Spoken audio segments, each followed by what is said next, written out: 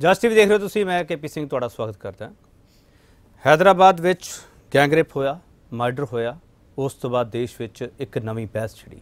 ਉਹ ਬਹਿਸ ਛਿੜੀ ਕਿ ਜਲਦੀ ਤੋਂ ਜਲਦੀ ਮੁਲਜ਼ਮਾਂ ਨੂੰ ਫਾਂਸੀ ਤੇ ਟੰਗਿਆ ਜਾਵੇ, ਜਾਂ ਉਹਨਾਂ ਨੂੰ ਸਜ਼ਾ ਦਵਾਈ ਜਾਵੇ, ਉਮਰ ਕੈਦ ਹੋਵੇ ਅਲੱਗ-ਅਲੱਗ ਤਰਕ ਵੀ ਦਿੱਤੇ ਗਏ ਆ ਕਿ ਇਸ ਤੋਂ ਪਹਿਲਾਂ ਜਿੰਨੇ ਵੀ ਕੇਸ ਹੋਏ ਆ ਗੈਂਗਰੇਪ ਤੇ, ਉਹਨਾਂ ਵਿੱਚ ਸਜ਼ਾ ਜਿਹੜੀ ਜ਼ਮੀਨ ਤੇ ਨਹੀਂ ਉਤਰਦੀ ਹੈ ਕਿ ਫੈਸਲਾ ਸੁਣਾਇਆ ਜਾਂਦਾ, ਉਸ ਦੇ ਬਾਵਜੂਦ ਹੈ ਕਈ ਜਿਹੜੀਆਂ ਸਾਡੇ ਕਾਨੂੰਨ ਦੇ ਵਿੱਚ ਲਚੀਲਾਪਨ ਹੈਗਾ ਉਸ ਦੀ ਵਜ੍ਹਾ ਕਰਕੇ ਜਿਹੜੇ ਮੁਲਜ਼ਮ ਹੈ, ਦੋਸ਼ੀ ਹੈ, ਉਹ ਬਚ ਨਿਕਲਣ ਵਿੱਚ ਜਾਂ ਲੰਮਾ ਸਮਾਂ ਜੇਲ੍ਹ ਵਿੱਚ ਰਹਿਣ 'ਚ ਕਾਮਯਾਬ ਹੁੰਦੇ ਆ। ਇਹੋ ਜਿਹੇ ਕਈ ਸਵਾਲ ਚੁੱਕੇ ਗਏ, ਪਰ ਇਹਨਾਂ ਸਵਾਲਾਂ ਦੇ ਵਿਚਾਲੇ ਇਨਕਾਊਂਟਰ ਹੁੰਦਾ ਹੈ। ਪੁਲਿਸ ਇਹ ਦਾਵਾ ਕਰਦੀ ਹੈ, ਪੁਲਿਸ ਦੀ ਥਿਊਰੀ ਹੈ ਕਿ ਇਨਕਾਊਂਟਰ ਕੀਤਾ ਗਿਆ ਚਾਰੇ ਮੁਲਜ਼ਮਾਂ ਦਾ, ਕਿਉਂਕਿ ਉਹਨਾਂ ਨੇ ਭੱਜਣ ਦੀ ਕੋਸ਼ਿਸ਼ ਕੀਤੀ ਸੀਗੀ। ਰੀਕ੍ਰੀਏਸ਼ਨ ਦੇ ਲਈ ਉਹਨਾਂ ਨੂੰ ਮੌਕਾ ਵਾਰਦਾਤ ਤੇ ਲਿਜਾਇਆ ਗਿਆ ਸੀਗਾ। ਉੱਥੇ ਉਹਨਾਂ ਨੇ ਭੱਜਣ ਦੀ ਕੋਸ਼ਿਸ਼ ਕੀਤੀ, ਪੁਲਿਸ ਤੇ ਅਟੈਕ ਕੀਤਾ, ਪੁਲਿਸ ਨੇ ਵਾਰ-ਵਾਰ ਉਹਨਾਂ ਨੂੰ ਸਰੈਂਡਰ ਕਰਨ ਲਈ। ਕਿਹਾ ਪਰ ਉਸ ਦੇ ਬਾਵਜੂਦ ਉਹਨਾਂ ਨੇ ਗੱਲ ਨਹੀਂ ਮੰਨੀ ਪੁਲਿਸ ਦੀ ਤੇ ਐਨਕਾਊਂਟਰ ਕਰਨਾ ਪਿਆ। ਇਹ ਪੁਲਿਸ ਦੀ ਥਿਊਰੀ ਹੈ ਕੀ ਹੈ। ਇਸ ਥਿਊਰੀ ਦੇ ਨਾਲ ਦੇਸ਼ ਦੇ ਵਿੱਚ ਪੁਲਿਸ ਹੀਰੋ ਬਣ ਚੁੱਕੀ ਹੈ ਕੀ ਹੈ। ਪਰ ਜਿਹੜੇ ਨੀਤੀ ਘਾੜੇ ਹੈ ਕੀ ਹੈ, ਉਹਨਾਂ ਦੇ ਵਿਚਾਲੇ ਸੁਰ ਹੈ ਜਿਹੜੇ, ਉਹ ਮਿਲਦੇ ਨਹੀਂ ਪਏ। ਬਹੁਤ ਸਾਰੇ ਸਵਾਲ ਹੈ ਜਿਹੜੇ, ਉਹ ਪੁੱਛੇ ਲਾਜ਼ਮੀ ਹੈ ਕਿ ਹੈ ਕਿ ਅਸੀਂ ਕਿਹੜੀ ਦਿਸ਼ਾ ਵੱਲ ਜਾ ਰਹੇ ਹੈ ਕੀ ਹੈ। ਸਵਾਲ ਇੱਕੋ ਪੁੱਛਿਆ ਜਾਵੇਗਾ, ਕਿਹੜੇ ਸਿਸਟਮ ਦਾ ਐਨਕਾਊਂਟਰ ਹੋਇਆ?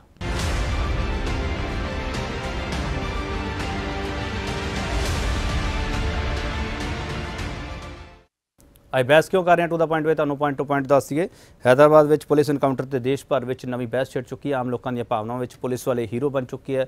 ਜਸ਼ਨ ਮਨਾਏ ਜਾ ਰਹੇ ਹੈਗੇ ਐਨਕਾਊਂਟਰ ਤੇ ਸਿਆਸਤਦਾਨਾਂ ਦੇ ਵੱਖੋ ਵੱਖਰੇ ਹੋ ਰਿਹਾ ਹੈ। ਕਿਤੇ ਸਮਰਥਨ ਹੋ ਰਿਹਾ, ਕਿਤੇ ਸਵਾਲ ਚੁੱਕੇ ਜਾ ਰਹੇ ਆ। ਪਾਰਲੀਮੈਂਟ ਵਿੱਚ ਰੇਪ ਮਾਮਲੇ ਦੇ ਪੀੜਤਾਂ ਨੂੰ ਇਨਸਾਫ ਤੇ ਸਿਆਸਤ ਪੱਕੀ ਹੈ। ਪਹਿਲਾਂ ਵੀ ਪੱਕੀ ਹੈ। ਹੁਣ ਉਸੇ, ਉੱਥੇ ਸਾਰੇ ਮਾਮਲੇ ਚੱਕੇ ਜਾ ਰਹੇ ਨਿਰਭੈ ਵਾਲਾ ਮਾਮਲਾ ਵੀ ਚੱਕਿਆ ਜਾ ਰਿਹਾ। ਉਨਾਵ ਵਾਲਾ ਮਾਮਲਾ ਵੀ ਚੱਕਿਆ ਜਾ ਰਿਹਾ।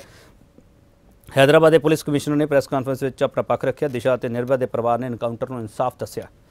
ਨਿਰਭੈ ਮਾਮਲੇ ਦੇ ਦੋਸ਼ੀਆਂ ਦੀ ਸਜ਼ਾ, ਮਾਫੀ ਦੀ ਫਾਈਲ ਵੀ ਸੁਰਖੀਆਂ 'ਚ ਆ ਚੁੱਕੀ ਹੈ। ਸੋਸ਼ਲ ਮੀਡੀਆ ਤੇ ਉਨਾਵ ਤੇ ਨਿਰਭੈ ਮਾਮਲੇ 'ਚ ਔਨ ਦਾ ਸਪੌਟ ਫੈਸਲੇ ਦੀ ਮੰਗ ਹੋ ਰਹੀ ਹੈ। ਸਵਾਲ ਇੱਕੋ ਪੁੱਛਿਆ ਜਾਵੇਗਾ। ਵੱਡਾ ਸਵਾਲ ਇਹ ਪੁੱਛਿਆ ਜਾਵੇਗਾ, ਹੈਦਰਾਬਾਦ ਗੈਂਗ ਰੇਪ ਮਰਡਰ ਮਾਮਲੇ 'ਚ ਐਨਕਾਊਂਟਰ ਨੇ ਕਿਸ ਲਈ ਚੁਣੌਤੀ ਖੜੀ ਕੀਤੀ? ਕਿਹੜੇ ਸਿਸਟਮ ਲਈ ਚੁਣੌਤੀ ਖੜੀ ਕੀਤੀ ਹੈ ਇਸ ਸਵਾਲ ਤੇ ਬਹਿਸ ਹੋਵੇਗੀ। ਪੈਨਲ ਸਾਡਾ ਮੌਜੂਦ ਹੈਗਾ। ਉਹਨਾਂ ਤੁਹਾਡਾ ਤਾਰਫ ਕਰਾ ਰਿਹਾ।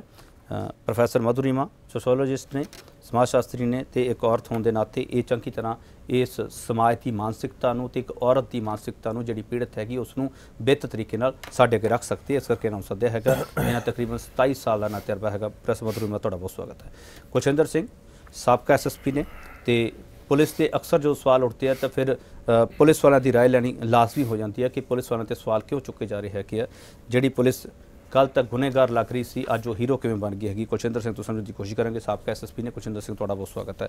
ਅਰਜੀਵ ਤਾਰਾ, ਸੀਨੀਅਰ ਵਕੀਲ ਦੇ ਤੌਰ ਤੇ ਸਾਡੇ ਨਾਲ ਵਿਚਰੇ ਨੇ ਤੇ ਸਿਆਸਤ ਵਿੱਚ ਵੀ ਇਹਨਾਂ ਦਾ ਯੋਗਦਾਨ ਰਹਿੰਦਾ ਹੈਗਾ ਤੇ ਸਾਰੇ ਪੱਖ ਇਹਨਾਂ ਤੋਂ ਸਮਝਣ ਦੀ ਕੋਸ਼ਿਸ਼ ਕਰਾਂਗੇ। ਇੱਕ ਵਕੀਲ ਕੀ ਸਮਝਦਾ ਹੈਗਾ ਤੇ ਇੱਕ ਸਿਆਸਤ ਹੈ ਜਿਹੜੀ, ਉਹ ਕਿਸ ਤਰੀਕੇ ਨਾਲ ਇਸ ਪੂਰੇ ਮੁੱਦੇ ਨੂੰ ਸਮਝਦੀ ਹੈਗੀ? ਰਜੀਵ ਤਾਰਾ ਸਾਹਿਬ, ਤੁਹਾਡਾ ਬਹੁਤ ਸਵਾਗਤ ਹੈ। Professor Manjit Singh political analyst ਦੇ ਤੌਰ ਤੇ ਵਿਚਰਤੇ ਹੈ ਕਿ ਇਹ ਸੋਸ਼ੀਓਲੋਜਿਸਟ ਵੀ ਨੇ ਤੇ ਇਹਨਾਂ ਨੂੰ ਪੂਰੀ ਸਮਝ ਹੈ ਕਿ ਇਹਨਾਂ ਮੁੱਦਿਆਂ ਤੇ ਰਾਜਨੀਤੀ ਕਿਹੜਾ ਰੁਖ ਤੈਅ ਕਰਦੀ ਹੈ ਤੇ ਸਾਡਾ ਸਮਾਜ ਦਾ ਜਿਹੜਾ ਪਈਆ ਹੈ ਕਿ ਉਸ ਨੂੰ ਕਿਹੜੇ ਰੁਖ ਵੱਲ ਖੜੇ ਹੋਣਾ ਚਾਹੀਦਾ ਹੈ? ਤੇ ਇਸ ਸਭ ਦੇ ਵਿਚਾਲੇ ਸਵਾਲ ਮੀਡੀਆ ਤੇ ਵੀ ਹੈਗਾ ਕਿ ਮੀਡੀਆ ਕਿਹੜੇ ਰੁਖ ਨੂੰ ਐਸਟੈਬਲਿਸ਼ ਕਰਨ ਦੀ ਕੋਸ਼ਿਸ਼ ਵਿੱਚ ਲੱਗਾ ਹੋਇਆ ਪ੍ਰਸਮਜੀਤ ਸਿੰਘ, ਤੁਹਾਡਾ ਬਹੁਤ ਸਵਾਗਤ ਹੈ। ਸਭ ਤੋਂ ਪਹਿਲਾ ਸਵਾਲ ਤੁਹਾਨੂੰ ਕਰਨਾ ਚਾਹੂੰਗਾ ਕੁਸ਼ਿੰਦਰ ਸਿੰਘ। ਕੁਸ਼ਿੰਦਰ ਸਿੰਘ, ਪੁਲਿਸ ਦੀ ਥਿਊਰੀ ਤੇ ਆਮ ਲੋਕਾਂ ਦੀਆਂ ਭਾਵਨਾਵਾਂ ਦੇ ਵਿਚਾਲੇ ਉਸ ਨੂੰ ਹੀਰੋ ਬਣਾਇਆ ਜਾ ਰਿਹਾ ਹੈ। ਪੁਲਿਸ ਤੇ ਜਸ਼ਨ ਮਨਾਇਆ ਜਾ ਰਿਹਾ ਹੈ ਕਿ ਪਰ ਇਸ ਸਭ ਦੇ ਵਿਚਾਲੇ ਸਵਾਲ ਇਹ ਖੜਾ ਹੋ ਗਿਆ ਕਿ ਜੇ ਇਦਾਂ ਇਨਕਾਊਂਟਰ ਹੋਣ ਲੱਗ ਪਏ ਤਾਂ ਜਿਹੜਾ ਸਾਡਾ ਮੁਲਕ ਹੈਗਾ ਸਾਡੇ ਮੁਲਕ ਦੀ ਆਵਾਮ ਹੈ ਕੀ ਹੈ ਉਹ ਔਨ ਦਾ ਸਪੌਟ ਫੈਸਲੇ ਦੀ ਮੰਗ ਤੇਜ਼ ਕਰਨ ਲੱਗੀ ਹੈ ਕੀ ਹੈ ਉੱਥੇ ਇਸ ਟ੍ਰੈਂਡ ਦੇ ਉੱਤੇ ਕੁਲਸ਼ਿੰਦਰ ਸਿੰਘ ਦੀ ਕੀ ਰਾਏ ਹੈ ਦੇਖੋ ਜਿਹੜਾ ਇਨਕਾਊਂਟਰ ਹੈ ਇਹ ਕੋਈ ਮੰਗਣਾ ਤਾਂ ਨਹੀਂ ਹੁੰਦਾ। ਇਹ ਉਦੋਂ ਮੌਕੇ ਦੇ ਹਾਲਾਤ ਉਹ ਰਿਕਵਰੀ ਕਰਨ ਗਏ ਉੱਥੇ ਉਹ ਉਹਨਾਂ ਦੇ ਗਲ ਪੈ ਗਏ ਉਹਨਾਂ ਦੇ ਹਥਿਆਰ ਖੋਲਾਏ ਹਥਿਆਰ ਖੋਣ ਤੋਂ ਬਾਅਦ ਉਹ ਫਾਇਰਿੰਗ ਕਰਨ ਲੱਗ ਗਿਆ ਉਹ ਇਹੋ ਜਿਹਾ ਜੇ ਪੋਜੀਸ਼ਨ ਆਈ ਤਾਂ ਫਿਰ ਉਹ ਪੁਲਿਸ ਕਰ ਵੀ ਕੀ ਸਕਦੀ ਸੀ। ਜੇ ਉੱਥੋਂ ਭੱਜ ਜਾਂਦੇ ਤੇ ਫਿਰ ਸਾਰੇ ਨੇ ਪੁਲਿਸ ਨੂੰ ਬਲੇਮ ਕਰਨਾ ਸੀ ਵੀ ਸਾਰੇ ਭੱਜ ਗਏ। ਪੁਲਿਸ ਬੜੀ ਨਲਾਇਕ ਹੈ। ਤੇ ਜੇ ਐਨਕਾਊਂਟਰ ਕਰਦਾ ਤਾਂ ਤੁਸੀਂ ਇਹ ਤਾਂ ਨਹੀਂ ਪਹਿਲਾਂ ਹੀ ਕਹਿ ਸਕਦੇ ਫੇਕ ਐਨਕਾਊਂਟਰ ਹੈ। ਐਨਕਾਊਂਟਰ ਜੈਨੂਇਨ ਐਨਕਾਊਂਟਰ ਹੈ। ਇਹਦੀ ਇਨਕੁਆਰੀ ਹੋਊਗੀ ਇਹਦੀ ਐਸਜੀਐਮ ਇਨਕੁਆਰੀ ਜੈਨੂਨ ਵੀ ਨਹੀਂ ਕਹਿ ਸਕਦੇ ਨਾ ਫਿਰ ਅਸੀਂ ਜੇ ਫੇਕ ਨਹੀਂ ਕਹਿ ਸਕਦੇ ਫਿਰ ਜੈਨੂਨ ਵੀ ਨਹੀਂ ਕਹਿ ਸਕਦੇ। ਇਨਕੁਆਰੀ ਹੋਊਗੀ ਤਾਂ ਉਹ ਤੋਂ ਪਤਾ ਲੱਗ ਜਾਏਗਾ ਜੁਡੀਸ਼ੀਅਲ ਇਨਕੁਆਰੀ ਉਹਨੇ ਕਰ ਦਿੱਤੀ ਐਨਐਚਆਰ ਚਲੋ ਉਹ ਉਹ ਜਾਂਚ ਦਾ ਵਿਸ਼ਾ ਹੈਗਾ ਮੈਂ ਤੁਹਾਡੀ ਗੱਲ ਨਾਲ ਇਤਫਾਕ ਕਰਦਾ ਕੁਲਚਿੰਦਰ ਸਿੰਘ। ਉਸ ਜਾਂਚ ਦੇ ਵਿਚਾਲੇ ਮੈਂ ਉਹ ਉਹਨਾਂ ਸਵਾਲਾਂ ਨੂੰ ਜਾਂਚ ਤੋਂ ਪਹਿਲਾਂ ਤਾਂ ਅਸੀਂ ਇਹੀ ਕਹਾਂਗੇ ਕਿ ਜੈਨੂਨ ਹੈ। ਠੀਕ ਹੈ। ਉਹ ਉਹਨਾਂ ਸਵਾਲਾਂ ਨੂੰ ਜੇ ਆਪਾਂ ਪਾਸੇ ਰੱਖ ਕੇ ਸੋਚੀਏ ਕਿ ਦੇਸ਼ ਹੁਣ ਇਹ ਸੋਚਣ ਲੱਗ ਪਿਆ ਕਿ ਰੇਪ ਮਾਮਲਿਆਂ ਦੇ ਵਿੱਚ ਫੈਸਲਾ ਹੁੰਦਾ ਸਪੋਰਟ ਹੋਣਾ ਚਾਹੀਦਾ ਹੈ। ਚਾਹੇ ਉਹ ਨਾਵ ਦਾ ਮਾਮਲਾ ਹੋਵੇ ਚਾਹੇ ਨਿਰਭੈ ਵਾਲਾ ਮਾਮਲਾ ਹੋਵੇ ਉਹ ਸਾਰੇ ਮਾਮਲੇ ਹੁਣ ਪੁਰਾਣੇ ਆ ਉਹ ਵੀ ਚੱਕ ਰਿਹਾ ਦੇਸ਼ ਪੂਰਾ। ਨਹੀਂ ਦੇਖੋ ਦੇਸ਼ ਇਹ ਤਾਂ ਚਾਹੁੰਦਾ ਹੀ ਜਾਵੇ ਫੈਸਲਾ ਜਲਦੀ ਹੋਵੇ। ਇਹ ਤਾਂ ਨਹੀਂ ਦੇਸ਼ ਇਹ ਚਾਹੁੰਦਾ ਐਨਕਾਊਂਟਰ ਹੀ ਹੋਵੇ। ਦੇਸ਼ ਇਹ ਤਾਂ ਚਾਹੁੰਦੀ ਵੀ ਸਪੀਡੀ ਸਾਨੂੰ ਜਸਟਿਸ ਮਿਲਣਾ ਚਾਹੀਦਾ। ਜੇ ਤੁਸੀਂ ਦੇਰ ਨਾਲ ਤੁਹਾਡਾ ਤੁਹਾਨੂੰ ਜਸਟਿਸ ਮਿਲੇ ਤਾਂ ਉਹਦਾ ਫਾਇਦਾ ਵੀ ਕੀ ਹੈ? ਹੁਣ ਨਿਰਭੈ ਕੇਸ 7 ਸਾਲ ਹੋ ਗਏ ਜਿਹੜੇ ਤੁਸੀਂ ਉਹਨੂੰ ਸਰਕਾਰੀ ਮਹਿਮਾਨ ਬਣਾ ਕੇ ਰੱਖੇ ਆ। ਜੇਲ੍ਹਾਂ 'ਚ ਬੈਠੇ ਆ ਉਹ ਸਰਕਾਰ ਦਾ ਖਰਚਾ ਹੋ ਰਿਹਾ। ਉਹਨੂੰ ਛੇਤੀ ਸਪੀਡੀ ਤੁਸੀਂ ਟ੍ਰਾਇਲ ਕਰ ਲਓ। ਫਾਸਟ ਟ੍ਰਾਇਲ ਕੋਡਾ ਬਣਾ ਲਓ ਦੇਖੋ ਨਿਰਭੈ ਕੇਸ ਵਿੱਚ ਪੁਲਿਸ ਨੇ 18 ਦਿਨ ਚਲਾਨ ਪੇਸ਼ ਕਰ ਦਿੱਤਾ। 18 ਦਿਨ ਇਨਵੈਸਟੀਗੇਸ਼ਨ ਕੰਪਲੀਟ ਕਰਤੀ। ਪੁਲਿਸ ਦਾ ਕੀ ਕਸੂਰ ਹੈ? ਉਹਦੇ ਬਾਅਦ ਹੁਣ ਕਿੰਨੇ ਸਾਲ ਹੋ ਗਏ? 7-8 ਸਾਲ ਹੋ ਗਏ। ਜੁਡੀਸ਼ੀਅਲ ਤੁਰਿਆ ਫਿਰਦਾ ਕਿ ਜ਼ਮਾਨਤ ਹੋ ਗਈ, ਕਦੀ ਇਹਨੇ ਬੇਲ ਪਾਤੀ ਕਦੀ ਇਹ ਹੁਣ ਮਾਫੀ ਲੈ ਮੰਗ ਰਹੇ ਆ। ਉੱਥੇ ਤੁਰਿਆ ਫਿਰਦਾ ਮਾਫੀ ਦੇਣੀ ਕਿ ਨਹੀਂ ਦੇਣੀ, ਉਹ ਸਾ- ਸਾਲ ਇਸ ਕੰਮ ਚ ਨਿਗਾਹਤਾ ਇਹਨੂੰ ਤਾਂ ਸਪੀਡੀ ਕਰਨਾ ਹੀ ਚਾਹੀਦਾ, ਘੱਟੋ ਘੱਟ ਇਸ ਗੱਲ ਦਾ ਤਾਂ ਦੇਸ਼ ਚਾਹੁੰਦਾ ਹੀ ਆ ਨਾ। ਠੀਕ ਹੈ। ਅਰਜੀਤ ਦਰਾ ਸਾਹਿਬ ਪੁਲਿਸ ਤੇ ਵਕੀਲਾਂ ਦੇ ਵਿਚਾਲੇ ਜਿੰਨਾ ਤਾਲਮੇਲ ਰਹਿੰਦਾ ਹੈਗਾ, ਸਾਰਿਆਂ ਨੂੰ ਪਤਾ ਹੈਗਾ। ਪੁਲਿਸ ਆਪਦਾ ਕੰਮ ਕਰ ਚੁੱਕੀ ਹੈ ਕੀ ਹੈ? ਕਾਨੂੰਨੀ ਪ੍ਰਕਿਰਿਆ ਸਾਡੀ ਨਿਆਂ ਪ੍ਰਣਾਲੀ ਤੇ ਇਸ ਐਨਕਾਊਂਟਰ ਤੋਂ ਬਾਅਦ ਸਵਾਲ ਚੁੱਕੇ ਜਾਣ ਲੱਗ ਪਏ ਹੈ ਕਿ ਕਿ ਸਾਡੀ ਨਿਆਂ ਪ੍ਰਣਾਲੀ ਹੈ ਜਿਹੜੀ ਉਸ ਤੇ ਸਵਾਲ ਹੈਗਾ। ਇਸ ਕਰਕੇ ਇਹੋ ਜਿਹੇ ਐਨਕਾਊਂਟਰ ਨੂੰ ਇੰਨੀ ਹੱਲਾਸ਼ੇਰੀ ਦਿੱਤੀ ਜਾ ਰਹੀ ਹੈ। ਐਨਕਾਊਂਟਰ ਨੂੰ ਹੱਲਾਸ਼ੇਰੀ ਦੇਣਾ ਇਹ ਕਹਿਣਾ ਕਿ ਜਦੋਂ ਤੱਕ ਜਾਂਚ ਦੇ ਵਿੱਚ ਝੂਠਾ ਨਹੀਂ ਪਾਇਆ ਜਾਂਦਾ ਇਹਨੂੰ ਸੱਚਾਈ ਮੰਨ ਲੈਣਾ ਚਾਹੀਦਾ ਹੈ। ਮੈਨੂੰ ਲੱਗਦਾ ਹੈ ਪੂਰੀ ਨਿਆਇਕ ਪ੍ਰਕਿਰਿਆ ਦੇ ਨਾਲ ਖਿਲਵਾੜ ਹੋਏਗਾ। ਸਾਡੀ ਪੂਰੀ ਪ੍ਰਕਿਰਿਆ ਕੀ ਹੈ? ਕ੍ਰਿਮੀਨਲ ਜਸਟਿਸ ਸਿਸਟਮ ਕੀ ਹੈ? ਰੇਪ ਦੀ ਘਟਨਾ ਹੋਵੇ, ਕੋਈ ਹੋਰ ਅਪਰਾਧ ਹੋਵੇ, ਉਹਦਾ ਪੂਰਾ ਇੱਕ ਕ੍ਰਿਮੀਨਲ ਪ੍ਰੋਸੀਜਰ ਕੋਡ ਦੇ ਵਿੱਚ ਪੂਰਾ ਪ੍ਰੋਸੀਜਰ ਦਿੱਤਾ ਹੋਇਆ ਹੈ। ਹਰ ਪੁਲਿਸ ਆਫੀਸਰ ਹਰ ਸੰਵਿਧਾਨਿਕ ਸੰਸਥਾ ਦੇ ਵਿੱਚ ਬੈਠਾ ਹੋਇਆ ਬੰਦਾ, ਹਰ ਕੋਈ ਕਹਿੰਦਾ ਹੈ।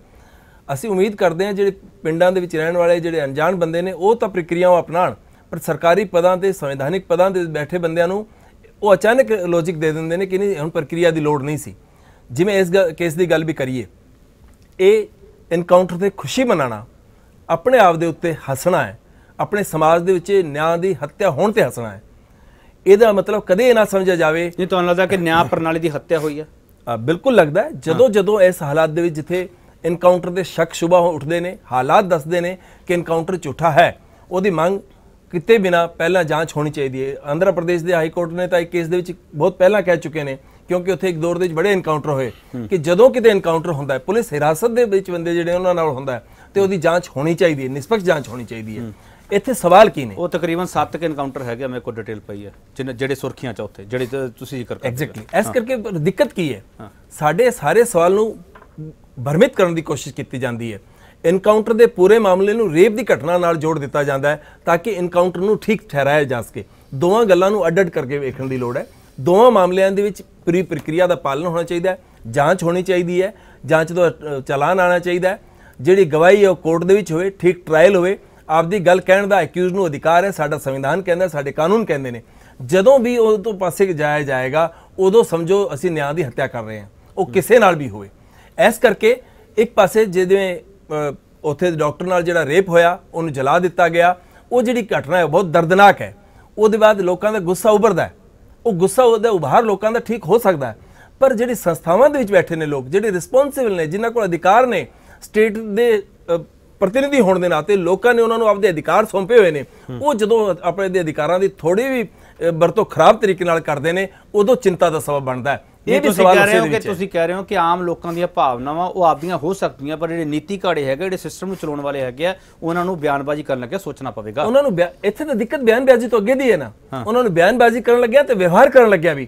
ਕਿਉਂਕਿ we are committed to our constitution ਅਸੀਂ ਆਪਦੇ ਕਨਸਟੀਟਿਊਸ਼ਨ ਤੇ ਆਪਦੇ ਲਾਅ ਦੇ ਸਿਸਟਮ ਨੂੰ ਸਮਰਪਿਤ ਕੀਤਾ ਆਪਣੇ ਆਪ ਨੂੰ। ਅਸੀਂ ਕਹਿੰਦੇ ਹਾਂ ਕਿ ਸਾਡਾ ਲਾਅ ਹੈ। ਜਿਨ੍ਹਾਂ ਨੂੰ ਲੱਗਦਾ ਨਹੀਂ ਇਸ ਫਲਾਣੇ ਮਾਮਲੇ ਦੇ ਵਿੱਚ ਰੇਪ ਦਾ ਕੇਸ ਹੋਵੇ ਆਤੰਕਵਾਦ ਦਾ ਹੋਵੇ ਕੋਈ ਹੋਰ ਹੋਵੇ ਜਿਨ੍ਹਾਂ ਦਾ ਆਰਗੂਮੈਂਟ ਹੈ ਨਹੀਂ ਇਸ ਮਾਮਲੇ ਦੇ ਵਿੱਚ ਪ੍ਰੋਸੀਜਰ ਇਸ ਤਰ੍ਹਾਂ ਨਹੀਂ ਹੋਣਾ ਚਾਹੀਦਾ ਉਹ ਪ੍ਰੋਸੀਜਰ ਬਦਲਣ ਦੀ ਗੱਲ। ਦੌਰਾ ਸਾਹਿਬ ਮੇਰਾ ਬਹਿਸ ਉਹ ਚੱਲਣੀ ਰਜੀਵ ਦੌਰਾ ਸਾਹਿਬ। ਮੇਰਾ ਸਵਾਲ ਹੋਰ ਹੈ ਜਦੋਂ ਪਾਰਲੀਮੈਂਟ ਦੇ ਵਿੱਚ ਤੁਸੀਂ ਲਿੰਚਿੰਗ ਸ਼ਬਦ ਲੈ ਕੇ ਆਉਂਦੇ ਹੋ ਇਹਨਾਂ ਮਾਮਲਿਆਂ ਦੇ ਨਾਲ ਜੋੜ ਕੇ ਇਹਦਾ ਮਤਲਬ ਜਿੱਥੇ ਤੁਸੀਂ ਕਾਨੂੰਨ ਆਪ ਤਿਆਰ ਕਰਦੇ ਹੋ ਨੀਤੀ ਘਾੜੇ ਤੁਸੀਂ ਆਪ ਹੋ ਉੱਥੇ ਤੁਹਾਡਾ ਕਾਨੂੰਨ ਤੇ ਵਿਸ਼ਵਾਸ ਨਹੀਂ ਨਹੀਂ ਰਹਿੰਦਾ ਪਿਆ ਹੈਗਾ ਇਸ ਨੂੰ ਇਸ ਤਰੀਕੇ ਨਾਲ ਵੀ ਸਮਝਣਾ ਪਵੇਗਾ ਸਰ ਮੈਂ ਤਾਂ ਉਹੀ ਕਹਿ ਰਿਹਾ ਜਦੋਂ ਸੰਵਿਧਾਨਿਕ ਸੰਸਥਾਵਾਂ ਦੇ ਵਿੱਚ ਬੈਠੇ ਲੋਕ ਸੰਸਦ ਦੇ ਵਿੱਚ ਬੈਠੇ ਲੋਕ ਪਦਾਂ ਦੇ ਉੱਤੇ ਬੈਠੇ ਲੋਕ ਨਿਆਇਕ ਪ੍ਰਕਿਰਿਆ ਨਾਲ ਜੁੜੇ ਲੋਕ ਜਦੋਂ ਉਸ ਪੂਰੀ ਪ੍ਰਕਿਰਿਆ ਨੂੰ ਕਿਸੇ ਵੀ ਹਾਲਤ ਦੇ ਵਿੱਚ ਛੱਡ ਕੇ ਕਹਿੰਦੇ ਨੇ ਹੁਣ ਪ੍ਰਕਿਰਿਆ ਛੱਡੋ ਸਿੱਧਾ ਮੈਂ ਇਹ ਸੋਚਦਾ ਇਸ ਤਰ੍ਹਾਂ ਨਿਆਂ ਕਰ ਦਿਓ ਇਸ ਤਰ੍ਹਾਂ ਫੈਸਲਾ ਕਰ ਦਿਓ। ਮੈਨੂੰ ਲੱਗਦਾ ਉਹ ਲੋਕਾਂ ਨੂੰ ਉਹਨਾਂ ਪਦਾਂ ਦੇ ਉੱਤੇ ਬੈਠਣ ਦਾ ਕੋਈ ਅਧਿਕਾਰ ਨਹੀਂ। ਯਾਨੀ ਕਿ ਉਹਨਾਂ ਨਾ ਉਹਨਾਂ ਨੂੰ ਉਹਨਾਂ ਨੂੰ ਇਮੋਸ਼ਨਲੀ ਸੋਚਣ ਦਾ ਕੋਈ ਹੱਕ ਨਹੀਂਗਾ ਤੁਸੀਂ ਇਹ ਕਹਿ ਰਹੇ ਹੋ। ਉਹ ਇਮੋਸ਼ਨਲੀ ਸੋਚਣ ਕੌਣ ਰੋਕਦਾ ਹੈ? ਬਿਗ ਨਾਗਰਿਕ ਸੋਚਣ।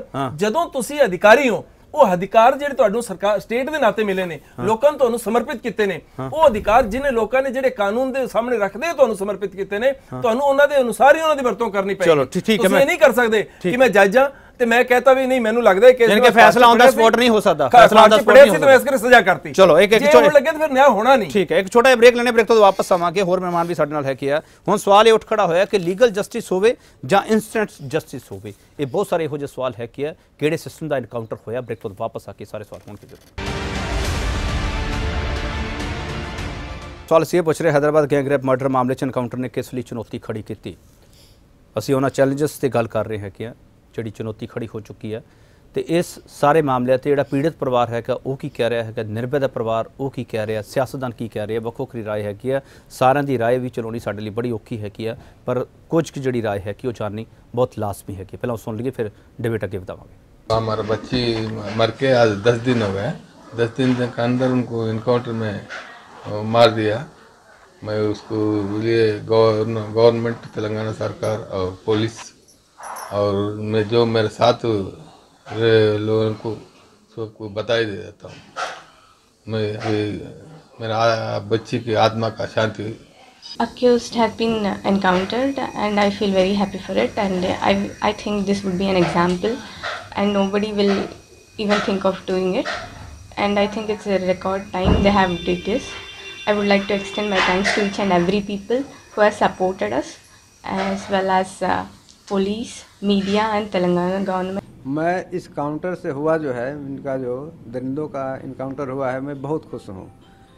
खुश इसलिए हूँ कि हम जिस तकलीफ़ में गुजर रहे हैं आज भी, देख रहा हूँ कि हमारी केस को सात साल हो गए, लेकिन वो दरिंदे आज भी ज़िंदा हैं और हम रोज़ मरते हैं। जब कोर्ट में जाते हैं, तब उनके वकीलों का सामना होता है। कुछ ना कुछ ऐसे वो शब्द बोलते हैं जिससे हम लोग को तकलीफ़ हो।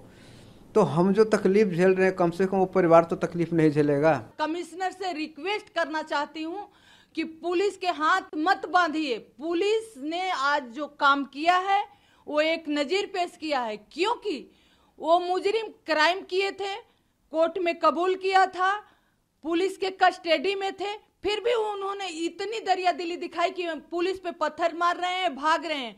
तो उनका जो हर्ष होना चाहिए, बिल्कुल सही हुआ है। पुलिस पे बिल्कुल कोई सवाल चिन्ह खड़ा नहीं होना चाहिए। हम स्पीडी जस्टिस की मांग कर रहे थे। ये एक इनकाउंटर हुआ है और इसमें पुलिस बेस्ट जज है कि किस परिस्थिति में उन्होंने इनकाउंटर किया। इनकाउंटर हमेशा ठीक नहीं होते, लेकिन इस मामले में जिस तरह से अक्यूज थे और जैसा पुलिस कह रही है कि वो हथियार छीन के भागने की कोशिश कर रहे थे तो ऐसे में शायद उनका ये जो फैसला था ठीक है। अ, मांग वही थी कि उनकी डेथ पेनल्टी हो लेकिन एक लीगल सिस्टम बहुत जो भी हुआ है बहुत भयानक हुआ है इस देश के लिए। क्योंकि आप कानून को अपने हाथ में नहीं ले सकते हैं। कानून में वैसे भी उनको फांसी मिलती। अगर आप उनसे पहले ही उनको बंदूकों से मार दोगे तो फिर फ़ायदा क्या है अदालत के फ़ायदा क्या है पुलिस की फ़ायदा क्या है कानून के? फिर तो आप बंदूक उठाओ और जिसको भी मारना मारो। दे रहा है दुरुस्त है। दे रहा है दे बहुत दे रहा है। कैसे पुलिस उनको रोक नहीं पाई? उनका हथियार छीनने का वो छीनना चाह रहे थे कमिश्नर कह रहे हैं। इंक्वायरी होगी तो बात आएगी, मगर जहाँ तक मेरा बात है, मैं किसी भी इनकाउंटर के ख़िलाफ़ हूँ। मैं इनकाउंटर्स को नहीं मानता, मेरा मानना ये है कि आज हमारे देश में इन्वेस्टिगेशन को मज़बूत करने की ज़रूरत है, जो फौजदारी अदालत का निज़ाम है, उसको मज़बूत करने की ज़रूरत है। और सही मानों में ये जो इतने, जो इंसान जो हैवान बन चुके हैं, उनको सज़ा मिलनी चाहिए कोर्ट के ज़रिए। और ऐसी सज़ा मिले कि वो अपनी मौत को तड़पे। मधुरिमा जी ਸਿਆਸਤ ਇੱਕ ਪਾਸੇ ਆਮ ਲੋਕਾਂ ਦੀਆਂ ਭਾਵਨਾਵਾਂ ਇੱਕ ਪਾਸੇ ਮੈਂ ਉਹਨਾਂ ਦੀ ਗੱਲ ਬਾਅਦ ਵਿੱਚ ਕਰ ਲੂੰਗਾ ਸਵਾਲ ਜਿਹੜੇ ਪੀੜਤ ਪਰਿਵਾਰ ਹੈ ਕੀ ਹੈ ਦਿਸ਼ਾ ਤੇ ਤੁਸੀਂ ਫਾਦਰ ਦੀ ਬਾਈਟ ਅ, ਸੁਣੀ ਹੈ ਉਹਦੀ ਸਿਸਟਰ ਦਾ ਬਿਆਨ ਸੁਣਿਆ ਹੈਗਾ ਨਿਰਭੈ ਦੇ ਪਰਿਵਾਰ ਬਾਰੇ ਸੁਣਿਆ ਹੈਗਾ। ਉਹਨਾਂ ਦੀ ਮਾਨਸਿਕਤਾ ਤੇ ਬਾਕੀਆਂ ਦੀ ਮਾਨਸਿਕਤਾ ਵਿੱਚ ਫ਼ਰਕ ਕੀ ਹੈ? ਮੈਂ ਇੱਕ ਮਹਿਲਾ ਹੋਣ ਦੇ ਨਾਤੇ ਇੱਕ ਗੱਲ ਕਹਿਣਾ ਚਾਹਾਂਗੀ ਕਿ ਇਸ ਤਰ੍ਹਾਂ ਦੀ ਸਿਚੁਏਸ਼ਨ ਕਿਉਂ ਆਈ? ਬਿਕੋਜ਼ ਜਿਹੜਾ ਸਾਡਾ justice delayed is justice denied so this instant justice ਜਿਹੜਾ ਹੈਗਾ ਇਨਸਟੈਂਟ ਤੁਹਾਨੂੰ ਗ੍ਰੈਟੀਫਿਕੇਸ਼ਨ ਦਿੰਦਾ ਜੇਲਾਂ ਚ ਪਏ ਹੈ ਮੁਕਦਮੇ ਚੱਲ ਰਹੇ ਹੈ ਤੇ ਕੁਝ ਹੋ ਨਹੀਂ ਰਿਹਾ ਤੇ ਸਬਰ ਦਾ ਜਿਹੜਾ ਉਹ ਸੀਗਾ ਨਾ ਉਹ ਪਿਆਲਾ ਟੁੱਟ ਗਿਆ ਸੀਗਾ। ਤੇ ਇਸ ਕਰਕੇ ਮੈਨੂੰ ਤਾਂ ਮੇਰੀ ਆਪਣੀ ਰਾਏ ਹੈਗੀ ਹੈ ਕਿ ਅਜੇ ਕੁਝ ਜੋ ਕੁਝ ਵੀ ਹੋਇਆ ਠੀਕ ਹੋਇਆ ਤੇ ਇਸ ਤਰ੍ਹਾਂ ਦੇ ਐਗਜ਼ਾਮਪਲ ਸਾਨੂੰ ਸੈੱਟ ਕਰਨੇ ਪੈਣਗੇ। ਤਾਂ ਕਿ ਲੋਕੀ ਡਰੀਏ ਡਰਨ। ਉਹਨਾਂ 'ਚ ਡਰ ਆਏ ਕਿ ਇਹ ਵੀ ਸਾਡੇ ਨਾਲ ਹੋ ਸਕਦਾ। ਜਿਹੜਾ ਡਰ ਬਿਲਕੁਲ ਗਾਇਬ ਹੋ ਗਿਆ ਸੀਗਾ ਕਿ ਕਿ ਅਸੀਂ ਬੈਠੇ ਹਾਂ ਜੇਲ੍ਹਾਂ 'ਚ ਬੈਠੇ ਹਾਂ ਕੀ ਹੋ ਜਾਏਗਾ? ਜੇਲ੍ਹ 'ਚ ਬੈਠੇ ਹਾਂ ਸੈਲ ਕਰ ਲਾਂਗੇ। ਉੱਥੇ ਤੱਕ ਆਰਾਮ ਹੀ ਹੈ। ਇਸ ਤਰ੍ਹਾਂ ਦੀ ਜ਼ਿੰਦਗੀ ਇਸ ਤਰ੍ਹਾਂ ਦੀ ਸੋਚ ਰੱਖਣ ਵਾਲੇ ਲੋਕੀ ਹੈਵਾਨ ਜਿਹੜੇ ਅੱਗੇ ਪਿੱਛੇ ਘੁੰਮ ਰਹੇ ਆ ਸਾਡੇ ਔਰਤਾਂ ਲਈ ਵਰਕਿੰਗ ਔਮਨ ਲਈ ਹਰ ਜਗ੍ਹਾ 'ਚ ਉਹਨਾਂ ਦੀ ਜਿਹੜੀ ਸੇਫਟੀ ਦਾ ਇਸ਼ੂ ਆ ਰਿਹਾ ਚਾਹੇ ਤੁਸੀਂ ਅੱਛੀ ਪੋਜੀਸ਼ਨ 'ਚ ਹੋ, ਤੁਸੀਂ ਗੱਡੀ 'ਚ ਜਾ ਰਹੇ ਹੋ ਆਪਣੀ, ਤਾਂ ਤੁਹਾਡੇ ਪਿੱਛੇ ਲੱਗ ਜਾਂਦੇ ਆ। ਤੁਸੀਂ ਟੈਕਸੀ ਕਰਕੇ ਆਉਂਦੇ ਹੋ ਤਾਂ ਤੁਹਾਨੂੰ ਡਰ ਰਹਿੰਦਾ ਹੈ ਕਿ ਮੈਂ ਲੇਟ ਘਰ ਨਾ ਪਹੁੰਚ ਜਾਵਾਂ, ਮੇਰੇ ਨਾਲ ਕੁਝ ਹਾਦਸਾ ਨਾ ਹੋ ਜਾਏ। ਤੁਸੀਂ ਟ੍ਰੇਨ 'ਚ ਜਾ ਰਹੇ ਹੋ, ਟ੍ਰੇਨ 'ਚ ਤੁਹਾਨੂੰ ਪ੍ਰੋਬਲਮ ਹੈ। ਤੁਸੀਂ ਬੱਸ 'ਚ ਜਾ ਰਹੇ ਹੋ ਤਾਂ ਤੁਹਾਨੂੰ ਫੇਸ ਕਰਨਾ ਪੈਂਦਾ। Every day this types of encounter, all working women are facing and they're scared ਡਰ ਹੈਗਾ ਕਿ ਅਸੀਂ ਸੇਫ ਹੈਗੇ ਆ ਕਿ ਨਹੀਂ ਹੈਗੇ ਆ ਇਸ ਕਰਕੇ ਅਗਰ ਇਸ ਤਰ੍ਹਾਂ ਦਾ ਫੈਸਲਾ ਕੁਝ ਤਾਂ ਡਰ ਕੁਝ ਤਾਂ ਖੌਫ ਇਹਨਾਂ ਲੋਕਾਂ ਦੇ ਮਨ ਚ ਆਏਗਾ। ਤੁਹਾਨੂੰ ਲੱਗਦਾ ਕਿ ਹੁਣ ਇਹ ਜਿਹੜਾ ਖੌਫ ਪੈਦਾ ਹੋ ਗਿਆ? ਨਹੀਂ ਸ਼ੁਰੂਆਤ ਤਾਂ ਹੋਈ। ਕੁਝ ਤਾਂ ਹੋਇਆ ਕੁਝ ਤਾਂ ਡਰ ਆਇਆ ਉਹਨਾਂ ਦੇ ਮਨ ਚ। ਕੁਝ ਲੋਕਾਂ ਦੇ ਮਨ ਚ ਤਾਂ ਆਏਗਾ। ਦੇਖੋ ਜਿਹੜੇ ਕੋਈ ਕਿਸ ਤਰ੍ਹਾਂ ਦੇ ਕੇਸਿਸ ਹੈਗੇ ਆ, ਜਿਸ ਤਰ੍ਹਾਂ ਨਿਰਭੈ ਕੇਸ ਹੋ ਗਿਆ ਉਨਾਵ ਵਾਲਾ ਕੇਸ ਹੋ ਗਿਆ ਇਹ ਲੜਕੀ ਜਿਹੜੀ ਹੁਣ ਹੈ ਹੈਦਰਾਬਾਦ ਵਾਲਾ ਕੇਸ ਹੋ ਗਿਆ ਦਿਸ਼ਾ ਦਾ ਕੇਸ ਹੋ ਗਿਆ। ਇਨ ਜਿਨ ਸਾਰੇ ਕੇਸਿਸ ਵਿੱਚ ਤੁਸੀਂ ਇਹ ਦੇਖੋ ਕਿ ਸਾਡੀ ਕਿਸ ਤਰ੍ਹਾਂ ਦੀ ਮਾਨਸ- ਮਾਨਸਿਕਤਾ ਹੈਗੀ ਹੈ ਕਿ ਲੜਕੀ ਦਾ ਉਹਦੇ ਪੇਰੈਂਟਸ ਦਾ ਜਿਹੜੇ ਵਿਕਟਿਮ ਹੈਗੇ ਆ ਉਹਨਾਂ ਦੀ ਆਇਡੈਂਟੀਟੀ ਨੂੰ ਅਸੀਂ ਦਿਖਾਉਂਦੇ ਨਹੀਂ ਆ ਉਹਨਾਂ ਨੂੰ ਛੁਪਾਉਂਦੇ ਆ। ਐਜ਼ ਇਫ ਸਮਥਿੰਗ ਇਹ ਤਾਂ court ਦੀਆਂ guidelines ਹੈ। ਕੋਰਟ ਦੀ ਗਾਈਡਲਾਈਨ ਲਈ ਮੈਂ ਕਹਿ ਰਹੀ ਹਾਂ ਕਿ as if they have done something wrong they have not done something wrong ਜਿਹੜੇ ਉਹਨਾਂ ਦੇ ਘਰ ਵਾਲੇ ਦਿਖਾਣ ਜਿਹੜੇ ਜਿਹੜੇ ਇਸ ਤਰ੍ਹਾਂ ਦੇ ਕਲਪ੍ਰਿਟਸ ਹੈਗੇ ਉਹਨਾਂ ਨੂੰ ਦਿਖਾਓ ਉਹਦੀ ਮਾਂ ਦਿਖਾਓ ਉਹਦਾ ਪਿਓ ਦਿਖਾਓ ਕਿ ਇਹਨਾਂ ਦਾ ਬੱਚਾ ਹੈ ਜਿਹੜਾ ਇਸ ਤਰ੍ਹਾਂ ਦੀਆਂ ਹਰਕਤਾਂ ਕਰ ਰਿਹਾ। ਸਾਡੇ ਅਸੀਂ ਬੱਚਿਆਂ ਨੂੰ ਕਿਸ ਤਰ੍ਹਾਂ ਪਾਲ ਰਹੇ ਹਾਂ ਆਪਣੇ ਮੁੰਡਿਆਂ ਨੂੰ ਕਿਸ ਤਰ੍ਹਾਂ ਪਾਲ ਰਹੇ ਹਾਂ ਕਿ ਉਸ ਤਰ੍ਹਾਂ ਦੀ ਹਰਕਤਾਂ ਕਰਦੇ ਆ। ਹਰ ਵਕਤ ਉਹਨਾਂ ਵਿੱਚ ਉਹਨਾਂ ਜਦ ਵੀ ਉਹ ਕਿਸੇ ਔਰਤ ਨੂੰ ਦੇਖਦੇ ਆ, ਉਹਨਾਂ ਦੇ ਮਨ ਚ ਆਉਂਦਾ ਕਿ this is something object to be enjoyed type of a ਵ- feeling ਵਸਤੂ- is ਵਸਤੂ there. ਮੰਨਿਆ ਜਾ ਹਾਂ, ਰਿਹਾ। ਬਿਲਕੁਲ ਬਿਲਕੁਲ।